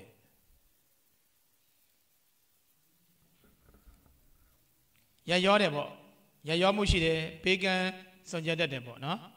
ရရောချင်းပေးကမ်းစွန်ကြဲခြင်းအဲ့လိုပြန်လာရပါတယ်နောက်တစ်ခါ generosity G N E R O S I T ပါခဏတွေ့တယ် generous ဆို generosity ဆိုတာပါတော့တတတရားရှိတာပေးပေးကမ်းတာတတတရားရှိတာပါပဲ generosity ဆိုတာတတတရားရှိခြင်းလို့မှတ်လိုက်အပြီးတော့ charity charity ဆိုတာလည်းပါတော့လှူဒန်းတာပဲဒါနပဲမလားဒီသုံးလုံးကတော့ပြည့်ရဲ့ပုံလေးတွေနည်းနည်းလေးတော့ကွဲရင်ကွဲလိုက်မယ်နော်ဆက်သွားမယ်ဆက်သွားမှပြောပြမယ် ပထမဆုံးတာဝန်ပေါ့မင်းကျင့်တရားဆက်ပါးထဲမှာပထမဆုံးတာဝန်ခုနပြောခဲ့ပြီးပြီဘယင်ကဘယင်တခုတည်းမဟုတ်ဘူး government မှာခုနပြောတဲ့ head of the state ပေါ့ခေါင်းဆောင်တယောက်တည်းမဟုတ်ဘူးအဲ့ကနောက်ကဝင်ကြီးတွေရော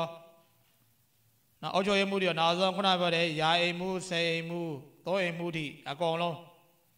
အဲ့ဒါတွေအကုန်လုံးထိသူတို့တွေကမလုပ်ရမှာပထမဆုံးလိုက်နိုင်မှာက liberty ဆိုတာပါတော့ပေးကမ်းရမယ်စွန့်ကြဲရမယ် generosity တရားတရားတွေထားရမယ် တိုင်းသူပြည်သားတွေပေါ်မှာ charity ဆိုတာတကယ်ပဲစွန့်ကြဲရမယ်ပေါ့နော်ဒါနပြုပေးရမယ်ဆက်သွား The Buddha should not have a craving in attachment to wealth and property but should give it away for the welfare of the people ကောင်းတယ်နော်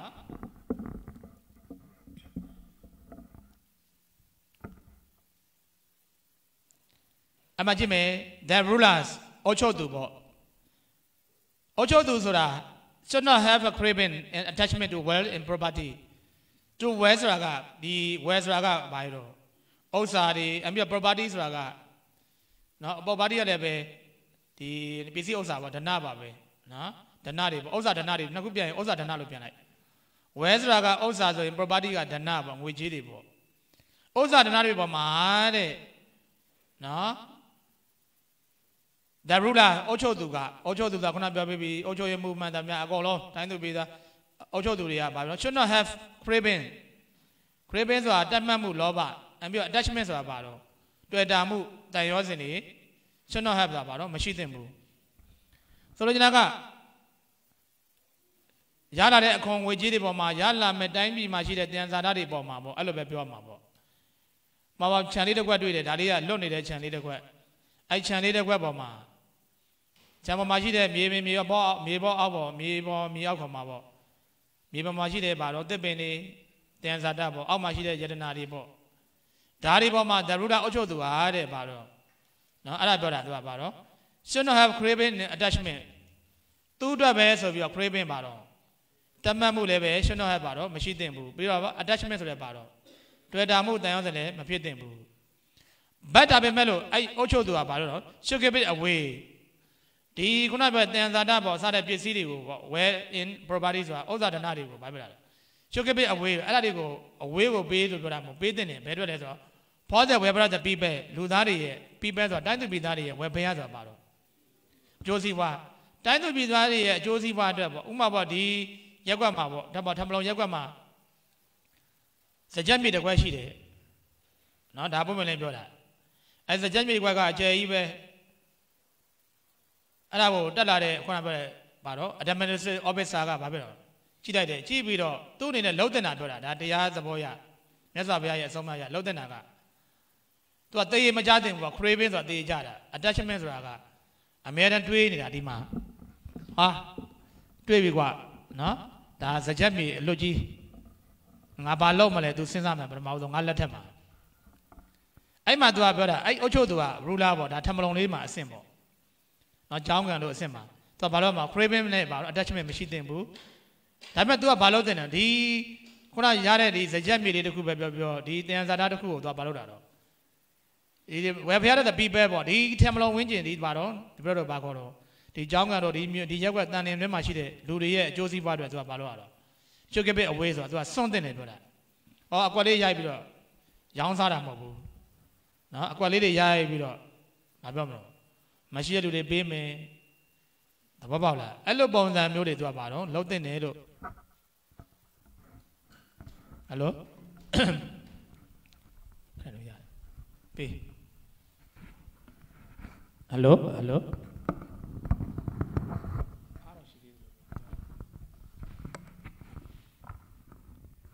sorry အဲ့လိုမျိုးလေးလုံးတဲ့တယ်လို့ဗာပြတာတော့ဒါကပထမဆုံး မြတ်စွာဘုရားရဲ့ပါတော့ဒါအဆုံးအမတခုမလားနော် the first duty မလားအဲ့လိုလုံးတဲ့တယ်ဆိုတဲ့ပါတော့မင်းကျင့်တရားပထမဆုံးမင်းကျင့်တရားသဘောပါပြီနော်တနည်းအားဖြင့်မင်းကျင့်တရားတော့မပြောနဲ့အုတ်ချုပ်သူတွေရဲ့ပါတော့ကျင့်ဖို့အဲ့လိုပြောတာကောင်းတယ်မင်းကျင့်တရားဆိုတော့မင်းတစ်ပတ်တယောက်တည်းလို့ထင်မယ်ခုနပြောသလိုဒီမှာအုတ်ချုပ်သူတွေအကုန်လူတန်းစားအကုန်လုံးပြောတာနော်နောက်တစ်ခါ second ဒုတိယမြောက်အနေနဲ့ high moral character စီလဒုတိယမြောက်ကဘာပြောလဲဆို high ဆိုတာမြင်မာတဲ့ moral ဆိုကိုကျင့် character ဆိုတာဇယိုက်တွေပေါ့ကိုကျင့်တရားတွေလည်းမြင်မာရမယ်ပေါ့အဲ့လိုပြောကိုကျင့်တရားမြင်မာမှုစီလဆိုတဲ့တရားလည်းရှိရမယ်မင်းမှာမင်းဆိုတာကခုနပြောလဲပါတော့အုတ်ချုပ်သူလူဒန်းစားတွေအကုန်လုံးမှာကိုကျင့်တရားလည်းရှိရမယ်ပြောတာ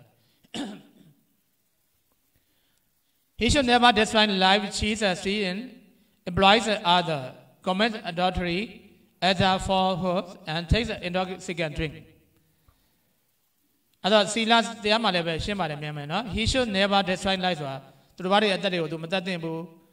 ချီးဆိုတာကမလိန်ညာသင့်ဘူးမူသားမပြောသင့်ဘူး steals and abuse other အခြားသူတွေရဲ့ပစ္စည်းတွေကိုခိုးတာတော့ abuse ဆိုတာကဖျက်ဆီးတာတွေမလုပ်သင့်ဘူး commit adultery ကာမသူမိစ္ဆာကံတွေမကျူးလွန်သင့်ဘူးနောက်ပြီးတော့ utter false ဆိုတာက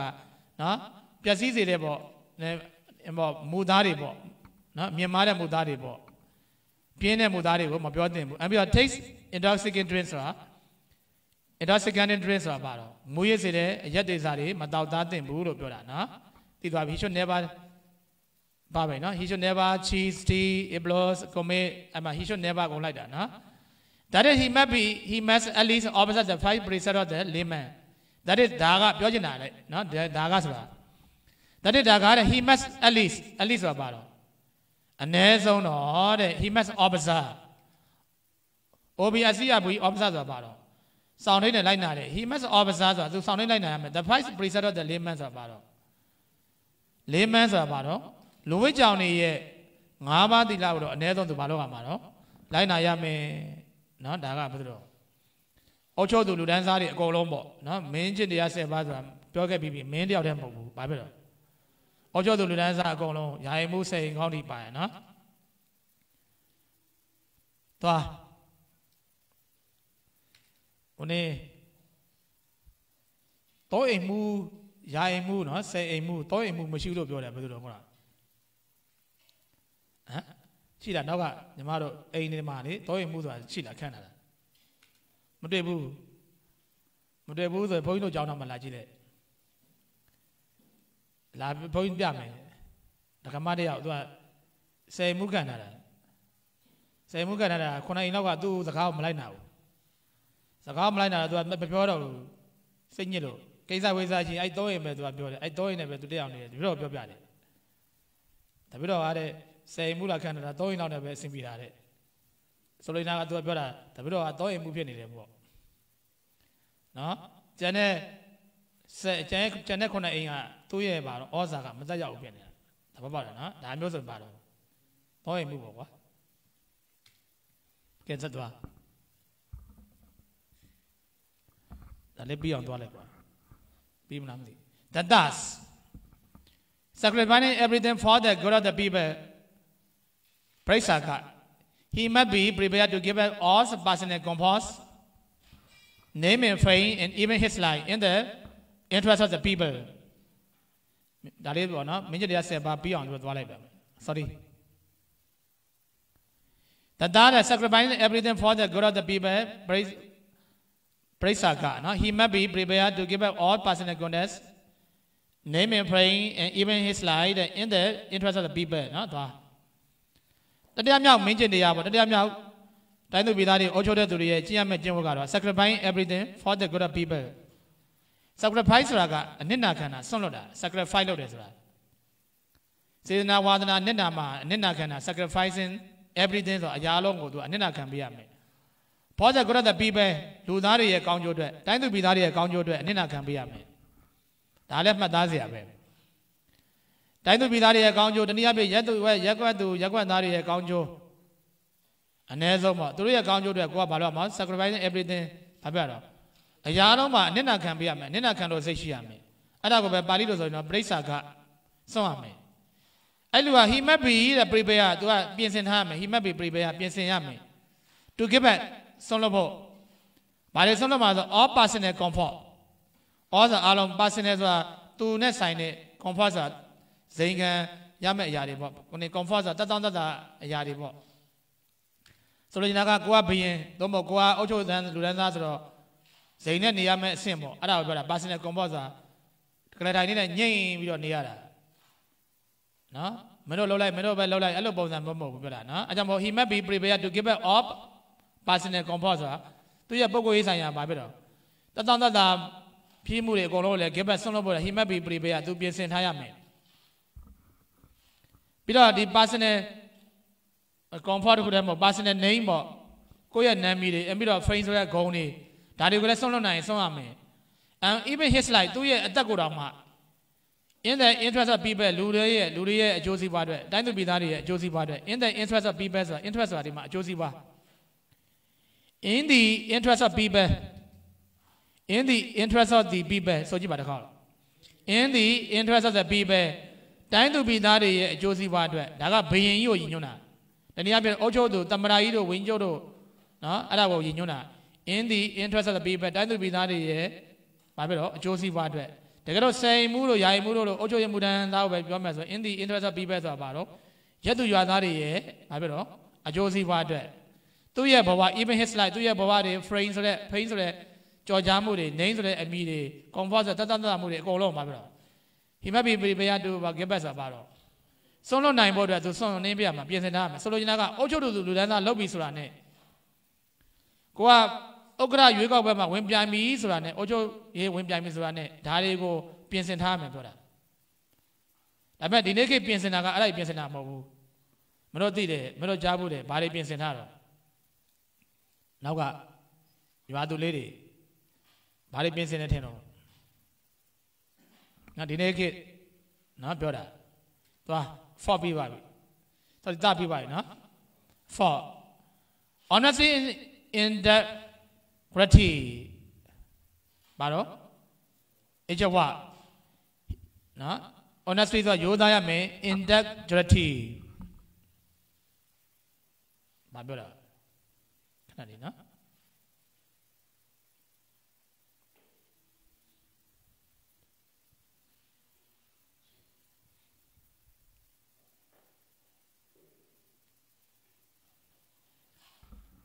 interest ညာထားကြည့်မယ်နော် integrity ဆိုတာက gravity ဆိုတာကတည်ကြည်မှုပေါ့ရိုးသားဖြောင့်မတ်မှုပေါ့အဲ့လိုပါပဲတည်ကြည်မှုရိုးသားဖြောင့်မတ်မှုပေါ့ ရိုးသားမှုဖြောင့်မတ်မှုလည်းပြန်လို့ရတယ် honesty ကိုရိုးသားတဲ့ဆိုရင်ဒီဘက်က integrity ကိုပါတော့ဖြောင့်မတ်မှုရိုးသားဖြောင့်မတ်ရမယ်ပေါ့အဲ့လိုပြောတာ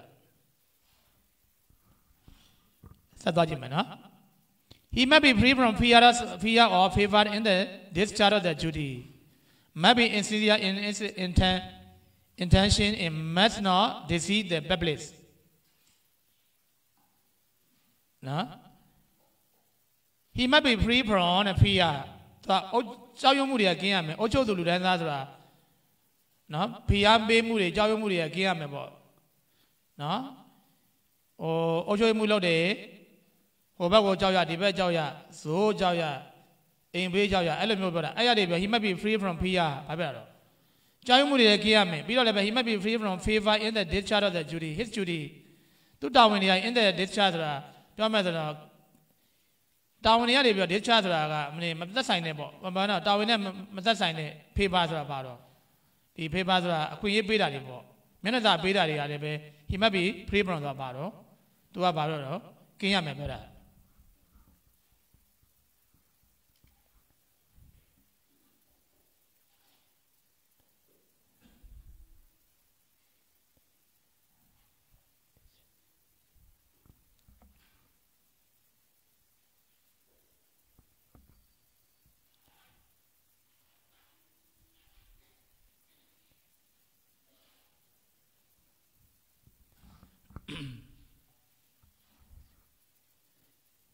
အဲ့တော့ဒီလိုပြန်မယ်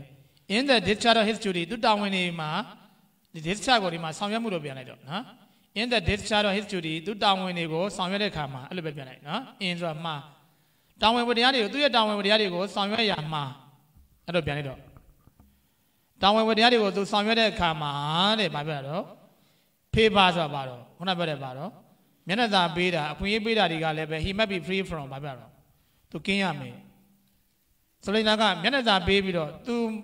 ကိုလူမလို့ပြောမယ်တော့ကြောသားရင်သားမခွဲခြားနဲ့ပြောတာပေါ့ကွာကိုလူမလို့မျက်နှာသာပေးပြီးတော့မင်းတော့ဒါလေးယူလိုက်ဒီလောက်ွက်လေးယူလိုက်အဲ့လိုမျိုးတွေကလည်းဗာပြတော့ကင်းရမယ်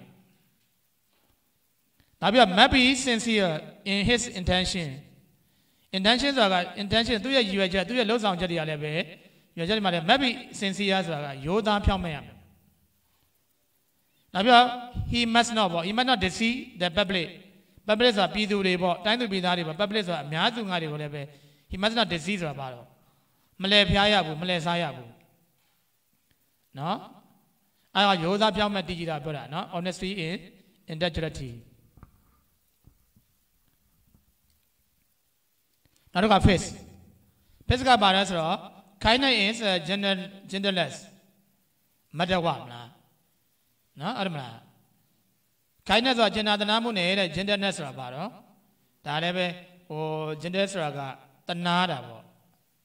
gentleness ဆိုတာကတနာတယ်လို့ပြောလို့ kindness ဆိုကျင်နာဆို gentleness ဆိုတာက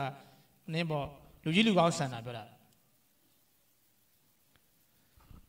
ကျင်နာတတ်ရမယ်လူကြီးလူကောင်းဆန်ရမယ်အဲ့လိုပြန်လိုက် gentleness ဆိုတာလူကြီးလူကောင်းဆန်တယ်အဲ့လိုပုံစံမျိုးလေးပဲနော်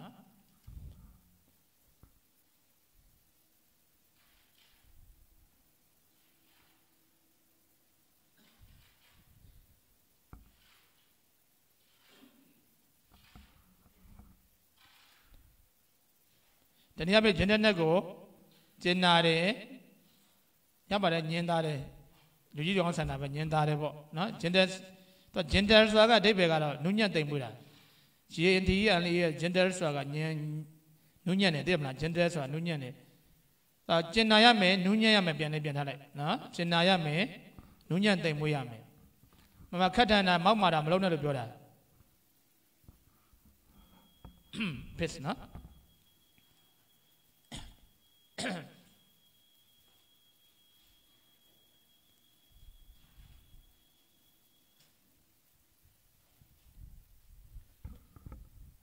သွားမယ်သွားမယ်နော် he must possess uh, he must possess a genius temperament he must possess ပိုင်ဆိုင်ရမယ် he must possess သူမှာရှိနေရမယ်ပိုင်ဆိုင်ရမယ်တဲ့ a genius G N I L နော် genius ဆိုတာ genius ဆိုတာကသူကဖော်ရွေသော genius ဆိုတာဖော်ရွေတဲ့ခင်မင်တတ်သောပေါ့ temperament ဆိုတာကစိတ်နေစိတ်ထား temperament ဆိုတာစိတ်နေစိတ်ထားစိတ်သဘောထားပေါ့သူ့မှာဖော်ရွေပြီးတော့နော်ဖော်ရွေတယ်ဒီမှာခင်မင်တတ်တဲ့စိတ်နေစိတ်ထားလဲပါတော့ mass possess ဆိုတာပိုင်ဆိုင်ထားရမယ်တနည်းပြပါတော့ရှိရရမယ်ဖော်ရွေတဲ့စိတ်ထားလဲရှိရမယ်ပြောတာနော် ဒါနံပါတ်5ပြီးသွားပြီ6စစ်ကဘာလဲဆိုတော့ A U S T E R I D Y အတန်တွေကမှာ austerity in habits တပပေါ့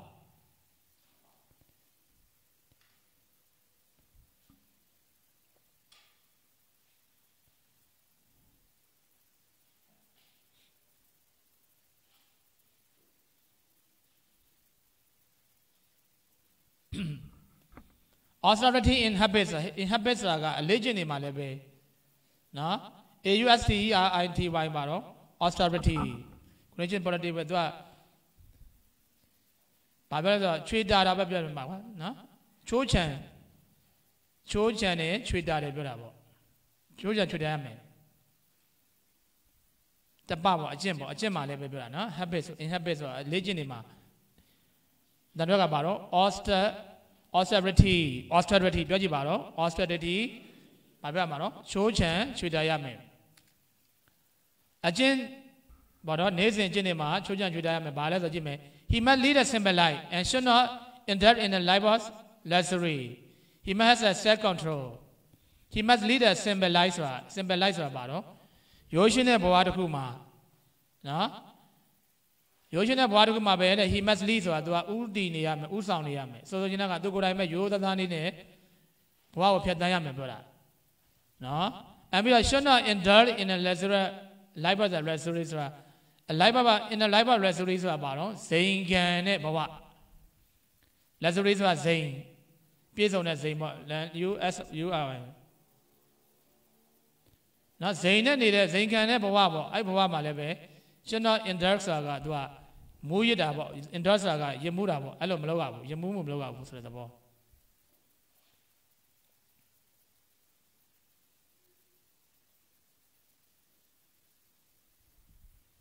index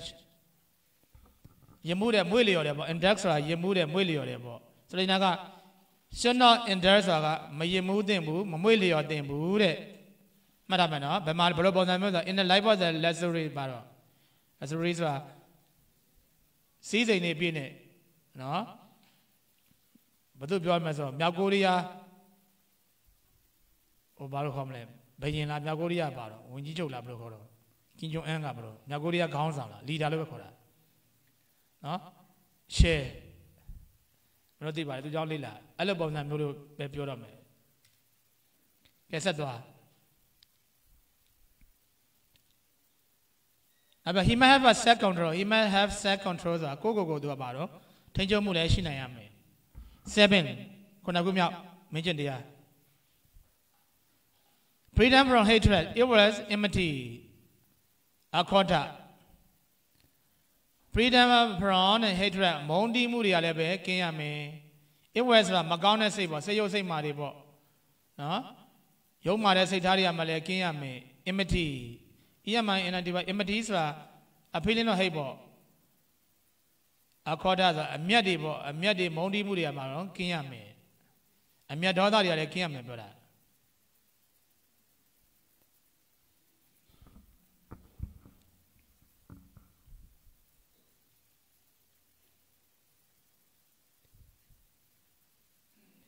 ဆက်သွားမယ်နော် he should bear no aggression against anybody he should bear be a bear ဆိုတိခန္ဓာပြော he should bear နော် no g r u d g r u d g ဆိုရင် grudge grudge နောက်မှာ against ဆိုထည့်ရမယ်နော် against ထည့်ရတယ် grudge against ဆိုတာနှလုံးပေါင်းမှာအဓိပ္ပာယ်တစ်ခုရှိမယ် against anybody ဆိုတာမေသူမဆို anybody ဆိုဘယ်သူကိုမဆိုပေါ့တိုင်းသူပြည်သားထဲမှာဘယ်သူကိုပဲဖြစ်ဖြစ်တဲ့ နော် no ပြောမယ်ဆိုတော့ no grudge against ဆိုတာက no grudge against anybody နော်ဘယ်သူကိုပဲဆိုမဆိုတိုင်းသူပြည်သားတွေရဲ့အပေါ်မှာဘယ်သူကိုပဲမဆိုတဲ့ no grudge against ဆိုတာပါတော့မလိုမုန်းတီးမှုအာကာဒလည်းပြောတာပဲနော်မလိုမုန်းတီးမှုအာကာဒတွေပါပြောတာတော့မရှိသင့်ဘူးအဲ့လိုပုံစံမျိုးဘယ်ရဆိုစိတ်ထဲမှာထားရဆိုတော့မမှန်တော့ he should bear no နော် he should bear no grudge against anybody တိုင်းသူပြည်သားတွေမှာ anybody ဘယ်သူထံကိုမှ he should bear no ဆိုတာစိတ်ထဲမှာမထားရဘူးပါဘယ်လို grudge against ဆိုတာပါတော့အမုန်းတရားတွေပေါ့အာဂတအညို့တရားတွေပေါ့မလောမုန်းဒီစိတ်တွေအာဂတတရားတွေနဲ့ပတ်သက်ပြီးတော့တိုင်းသူပြည်သားတွေရဲ့အပေါ်မှာဘယ်သူထံမှမှပါတော့ဘယ်ရအမိုင်းဘယ်ရ no ဆိုတာစိတ်ထဲမှာမထားရဘူးဆိုတော့အုတ်ချုပ်သူကအညို့မထားရဘူးအဲ့လိုပြောတာ ဒီကောင်ငါ့ကိုရောလှုပ်ထားခဲ့တယ်ငါအခုတော့ငါဒီကောင်ပြန်လှုပ်မယ်ဆိုတော့အညို့မထားရဘူးလို့ပြောတာနော်သဘောပေါက်ပြီကဲပြီးတော့ကနေပါပြီကွာဒါလေးပြီးအောင်ဖတ်လိုက်နော်အဲ့ကဘာတော့ non violence အဝိဟိង្စ which means not only that uh, he should harm nobody but also that he should try to promote the peace and by peace by avoidance and prevent the war and everything which involve violence and destruction of life နဲ့မြန်လိုက်မယ်နော် ရှင်းခုမြောက်ကပါတော့ non violence ဆိုတာပါတော့အဝိဟိង្စအဝိဟိង្စဆိုတာမငြင်းဆဲမှုဆိုတာ non violence which means that not only that he should harm nobody ဘသူ့ဘမှာလည်းညှင်းဆဲနှိပ်စက်မှုမလုပ်သင့်ဘူးဆိုတော့ brother that he should try to promote peace ငြိမ်းချမ်းမှုတွေကိုလည်းပါတော့ဖြစ်ပေးသင့်သည်ဆိုတော့ငြိမ်းချမ်းမှုတွေကိုထားသင့်တယ်ဘသူ့ဘမှာညှင်းဆဲနှိပ်စက်မှုမဖြစ်သင့်တယ်နော်ဘာလဲဆိုတော့ by avoidance and prevention ဝါဆိုတာစစ်ပွဲတွေကိုရှောင်ရှားခြင်းတားမြစ်ခြင်းအဖြစ်ပေါ့ နောက်ကဆက်ပြန်မယ်နော် by avoidance and prevention ဝါစစ်ပွဲတွေကို prevent ဆိုတာတားမြစ်ခြင်း avoidance ရှောင်ခြင်းခြင်းဖြစ်တဲ့နော်ရှင်းချင်းဖြစ်နော် not only he should harm anybody ဘယ်သူ့ဘမှာမငြင်းဆက်နှိပ်ပတ်တဲ့နာမဟုတ်ဘဲနဲ့ပါတော့ also he should try to promote peace ဆိုတာပါတော့ငြိမ်းချမ်းမှုတွေကိုလည်း promote ဆိုတာပါတော့တိုးတက်တာနော်တိုးတက်အောင်လုပ်ခြင်း try ဆိုတာကြိုးစားခြင်းအဖြစ်တဲ့ဖြစ်တော့ပါတော့ non point နဲ့ပါတော့အမှတ်သက်ဆက်မှာနော်အဝိဟိင်္စ အိုက်အိုက်ဝိဟိင်္စတရားကိုလည်းပဲပါတော့လက်ကင်ထားတဲ့နယ်ပေါ့ဒါပြောတာနော်အဲပြီးတော့ everything which inbound violence and destruction of life ပါပြောတော့အဲ့မှာပါသေးတယ်ပါတော့ everything အရာလုံးနဲ့ which inbound ဆိုတာပါဝင်တယ် inbound ဆိုတာပါဝင်တယ် violence ဆိုတာပါတော့အကြမ်းဖက်မှုတွေအကြမ်းဖက်မှုတွေ destruction of life ဆိုတာလူသူများတွေရဲ့အသက်ကို destruction ဆိုတာဖျက်ဆီးတာတတ်တာပေါ့သူတို့ဘာတွေရဲ့အသက်တွေကိုတတ်တယ်ဖျက်ဆီးတယ်ပြီးတော့ညှင်းဆဲနှိမ့်ဆက်မှုတွေပါဝင်တယ်ဆိုတဲ့အရာအလုံးရဲ့စစ်ပွဲတွေမှာတားဆီးခြင်း မဖြစ်အောင်ရှောင်ကျဉ်ခြင်းအပြင်ငြိမ်းချမ်းမှုတွေတိုးဆက်စေတယ်နောက်တစ်ခါပါတော့သူတို့ဘာတွေကိုမထိခိုက်ဘူးဆိုတဲ့အဓိပ္ပာယ်ရှိတယ်ပါပြီးတော့နန်းပိုင်လဲဆိုတဲ့အဝိဟိင်္စနော်အဲ့ဒီတရားတွေလည်းပါပြောတာမဟုတ်လက်ကင်ထားရမယ်ရှစ်ခုမြောက်ကဲ90ပြီးတော့မယ်9က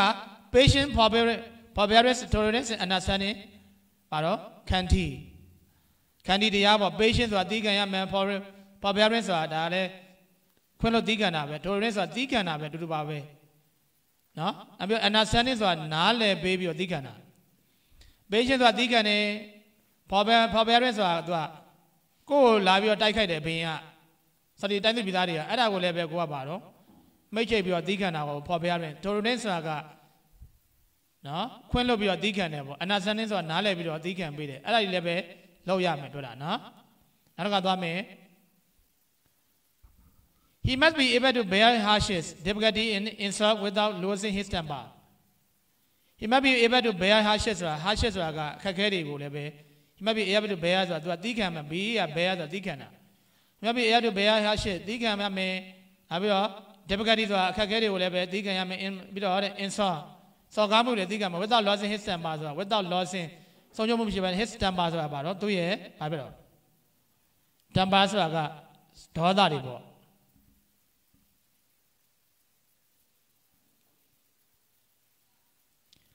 သူ့မှာရှိတဲ့ဒေါသတွေဘာတော့မထွက်ဖဲနဲ့အဲ့လိုပြောတာ without losing his time မှာသူ့မှာရှိတဲ့ဒေါသတွေမထွက်ဖဲနဲ့ insult ဆိုတဲ့ကိုယ်စော်ကားမှုတွေ difficulty အခက်အခဲတွေ hardship ဆိုတာနော်ခုနပြောတဲ့ခက်ခဲတာပဲဒါပေမဲ့ကျန်တဲ့တခြားပေါ့နော်ကြမ်းတမ်းမှုတွေပေါ့ခက်ခဲမပြပြကြမ်းတမ်းမှုတွေကိုပါတော့ he must be able to bear သူသီးခံပေးရမယ်။အုတ်ချုပ်သူဟာဒါကဘယ်လောက်ရှိတော့ကိုကဲဝမ်းမြောက်တော့30ရောက်ပြီ thanks ဒါလေးပြီးပါပြီ none နော် opposition none opposition အဝိရောဓအဝိရောဓဆိုတာက non opposition ဆိုတာမဆန့်ကျင်ရဘူး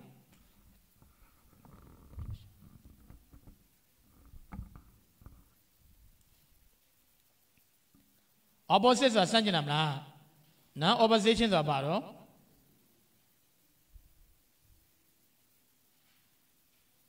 မဆန့်ကျင်ရဘူးတဲ့အဲ့တော့ non obstruction ဆိုတာမပိတ်ပင်ရဘူး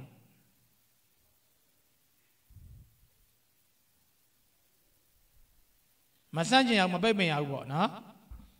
non opposition မဆန့်ကျင်ရဘူး non obstruction ပါတော့မပိတ်ပင်ရဘူးမတားဆီးရဘူးဆိုတော့တိုင်းသူပြည်သားတွေရဲ့စန္ဒနဲ့မဆန့်ကျင်အောင်တိုင်းသူပြည်သားရဲ့စန္ဒတွေကိုဘာပြောတာမပိတ်ပင်ရဘူးဒါပြောတာဆက်သွားကြည့်ဘာပြောလဲအဲ့ဒါအဝိရောဓ that is to say that ဒါပြောချင်တာကတဲ့ he should not oppose the will of the people the will of the people လူသားတွေရဲ့ will ဆိုတာပါတော့စိတ်ဆန္ဒတွေမှာလည်းပဲ he should not oppose ဆိုတာသူကမဆန့်ကျင်ရဘူးဆိုတာကိုလည်းဆိုလိုတယ် should not obstruct the any measure that's connected to the welfare of the people that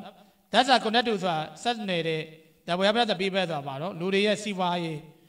လူတွေရဲ့စီးပွားရေးအကျိုးစီးပွားပေါ့ welfare ဆိုတာအကျိုးစီးပွားမလား တိုင်းသူပြည်သားတွေရဲ့အကျိုးစီးပွားနဲ့တဲ့ that is contact ဆိုတော့ဆက်နွယ်နေတယ်ပတ်သက်နေတယ်ဆိုတော့ animation ဘယ်လို measure ကိုပြောမယ်ဘယ်လိုကိစ္စရဲ့ဘယ်လိုတိုင်းတာမှုမှာပဲဖြစ်ဖြစ် should not offset ဆိုတာမပိတ်ပင်မတားဆီးရဘူးအဲ့လိုပြောတာတိုင်းသူပြည်သားတွေရဲ့အကျိုးစီးပွားနဲ့ဆက်နွယ်တယ်ဆိုတော့ဘယ်လိုတိုင်းတာမှု measure တော့တိုင်းတာမှုပြောလို့ရတယ်ဘယ်လိုတိုင်းတာမှုကိစ္စရဲ့မှာပဲဖြစ်ဖြစ်ပါတော့ should not offset ဆိုတာပါတော့မပိတ်ပင်မတားဆီးရဘူးဘာပါလဲနော်တိုင်းသူပြည်သားတွေကဒါလုပ်ချင်တယ်အများစုကဒါဖြစ်ချင်တယ်ဆိုမတားဆီးနဲ့ တိုင်းသူပြည်သားတွေရဲ့စန္ဒတွေကိုလည်းဗာပြတော့ကျွန်တော် opposite ပါတော့မဆန့်ကျင်တဲ့ဘာပါပြီနော်ဘယင်လုံးမဲ့သူတွေအုတ်ချုပ်သူလုံးမဲ့လူတွေ in other words တနည်းအားဖြင့်ပြောမယ်ဆို in other words ဆိုတာတနည်းအားဖြင့်ပြောမယ်ဆိုရင်တဲ့ he should rules in harmony with his people နောက်ဆုံးပါ with his people ဆိုတာသူ့ရဲ့လူတွေနဲ့တနည်းအားဖြင့်ပါတော့သူ့ရဲ့တိုင်းသူပြည်သားတွေနဲ့အတူ he should rule သူအုတ်ချုပ်တဲ့ in harmony ဆိုတာပါတော့အညီအမျှတသားတဲ့။ အုတ်ချုပ်တဲ့နဲ့တိုင်းသူပြည်သားတွေကဓာဆိုဓာပေါ့အဲ့လိုပုံစံမျိုးလေးနဲ့သူကတသားနဲ့အုတ်ချုပ်ရမယ်ဟာမိုနီညီမျှမျှပေါ့။တိုင်းသူပြည်သားတွေကဓာတွေကိုလှုပ်ချင်တယ်ဆိုရင်ဓာနဲ့တသားနဲ့ပေါ့ဖြစ်အောင်လိုက်လုပ်ပေး။ကောင်းကောင်းမွန်မွန်လုပ်ပေး။တိုင်းသူပြည်သားတွေကဓာတွေမလှုပ်ချင်ဘူးဆိုရင်ဓာတွေမလှုပ်ဘူး။မလှုပ်တဲ့ပုံစံမျိုးသွားပါတော့ဟာမိုနီတင်းတင်းလျောက်ပတ်ဆိုတာသူတို့နဲ့အတူတူစိတ်ဆန္ဒအညီပါပြောနော်။လှုပ်တဲ့နဲ့ပြောတာနော်။ကဲဒါဆိုတော်တော်လေးများပါတယ်။ ဟောတနာကြီးနဲ့15ပါပဲเนาะအများကြီးတော့မဟုတ်ပါဘူးဒီမင်းကျတရား10ပါတော့ပြီးပါအောင်လို့ဗျာเนาะကဲ that's all for today ပါဗျာ see you abra sometime ပါဗျာ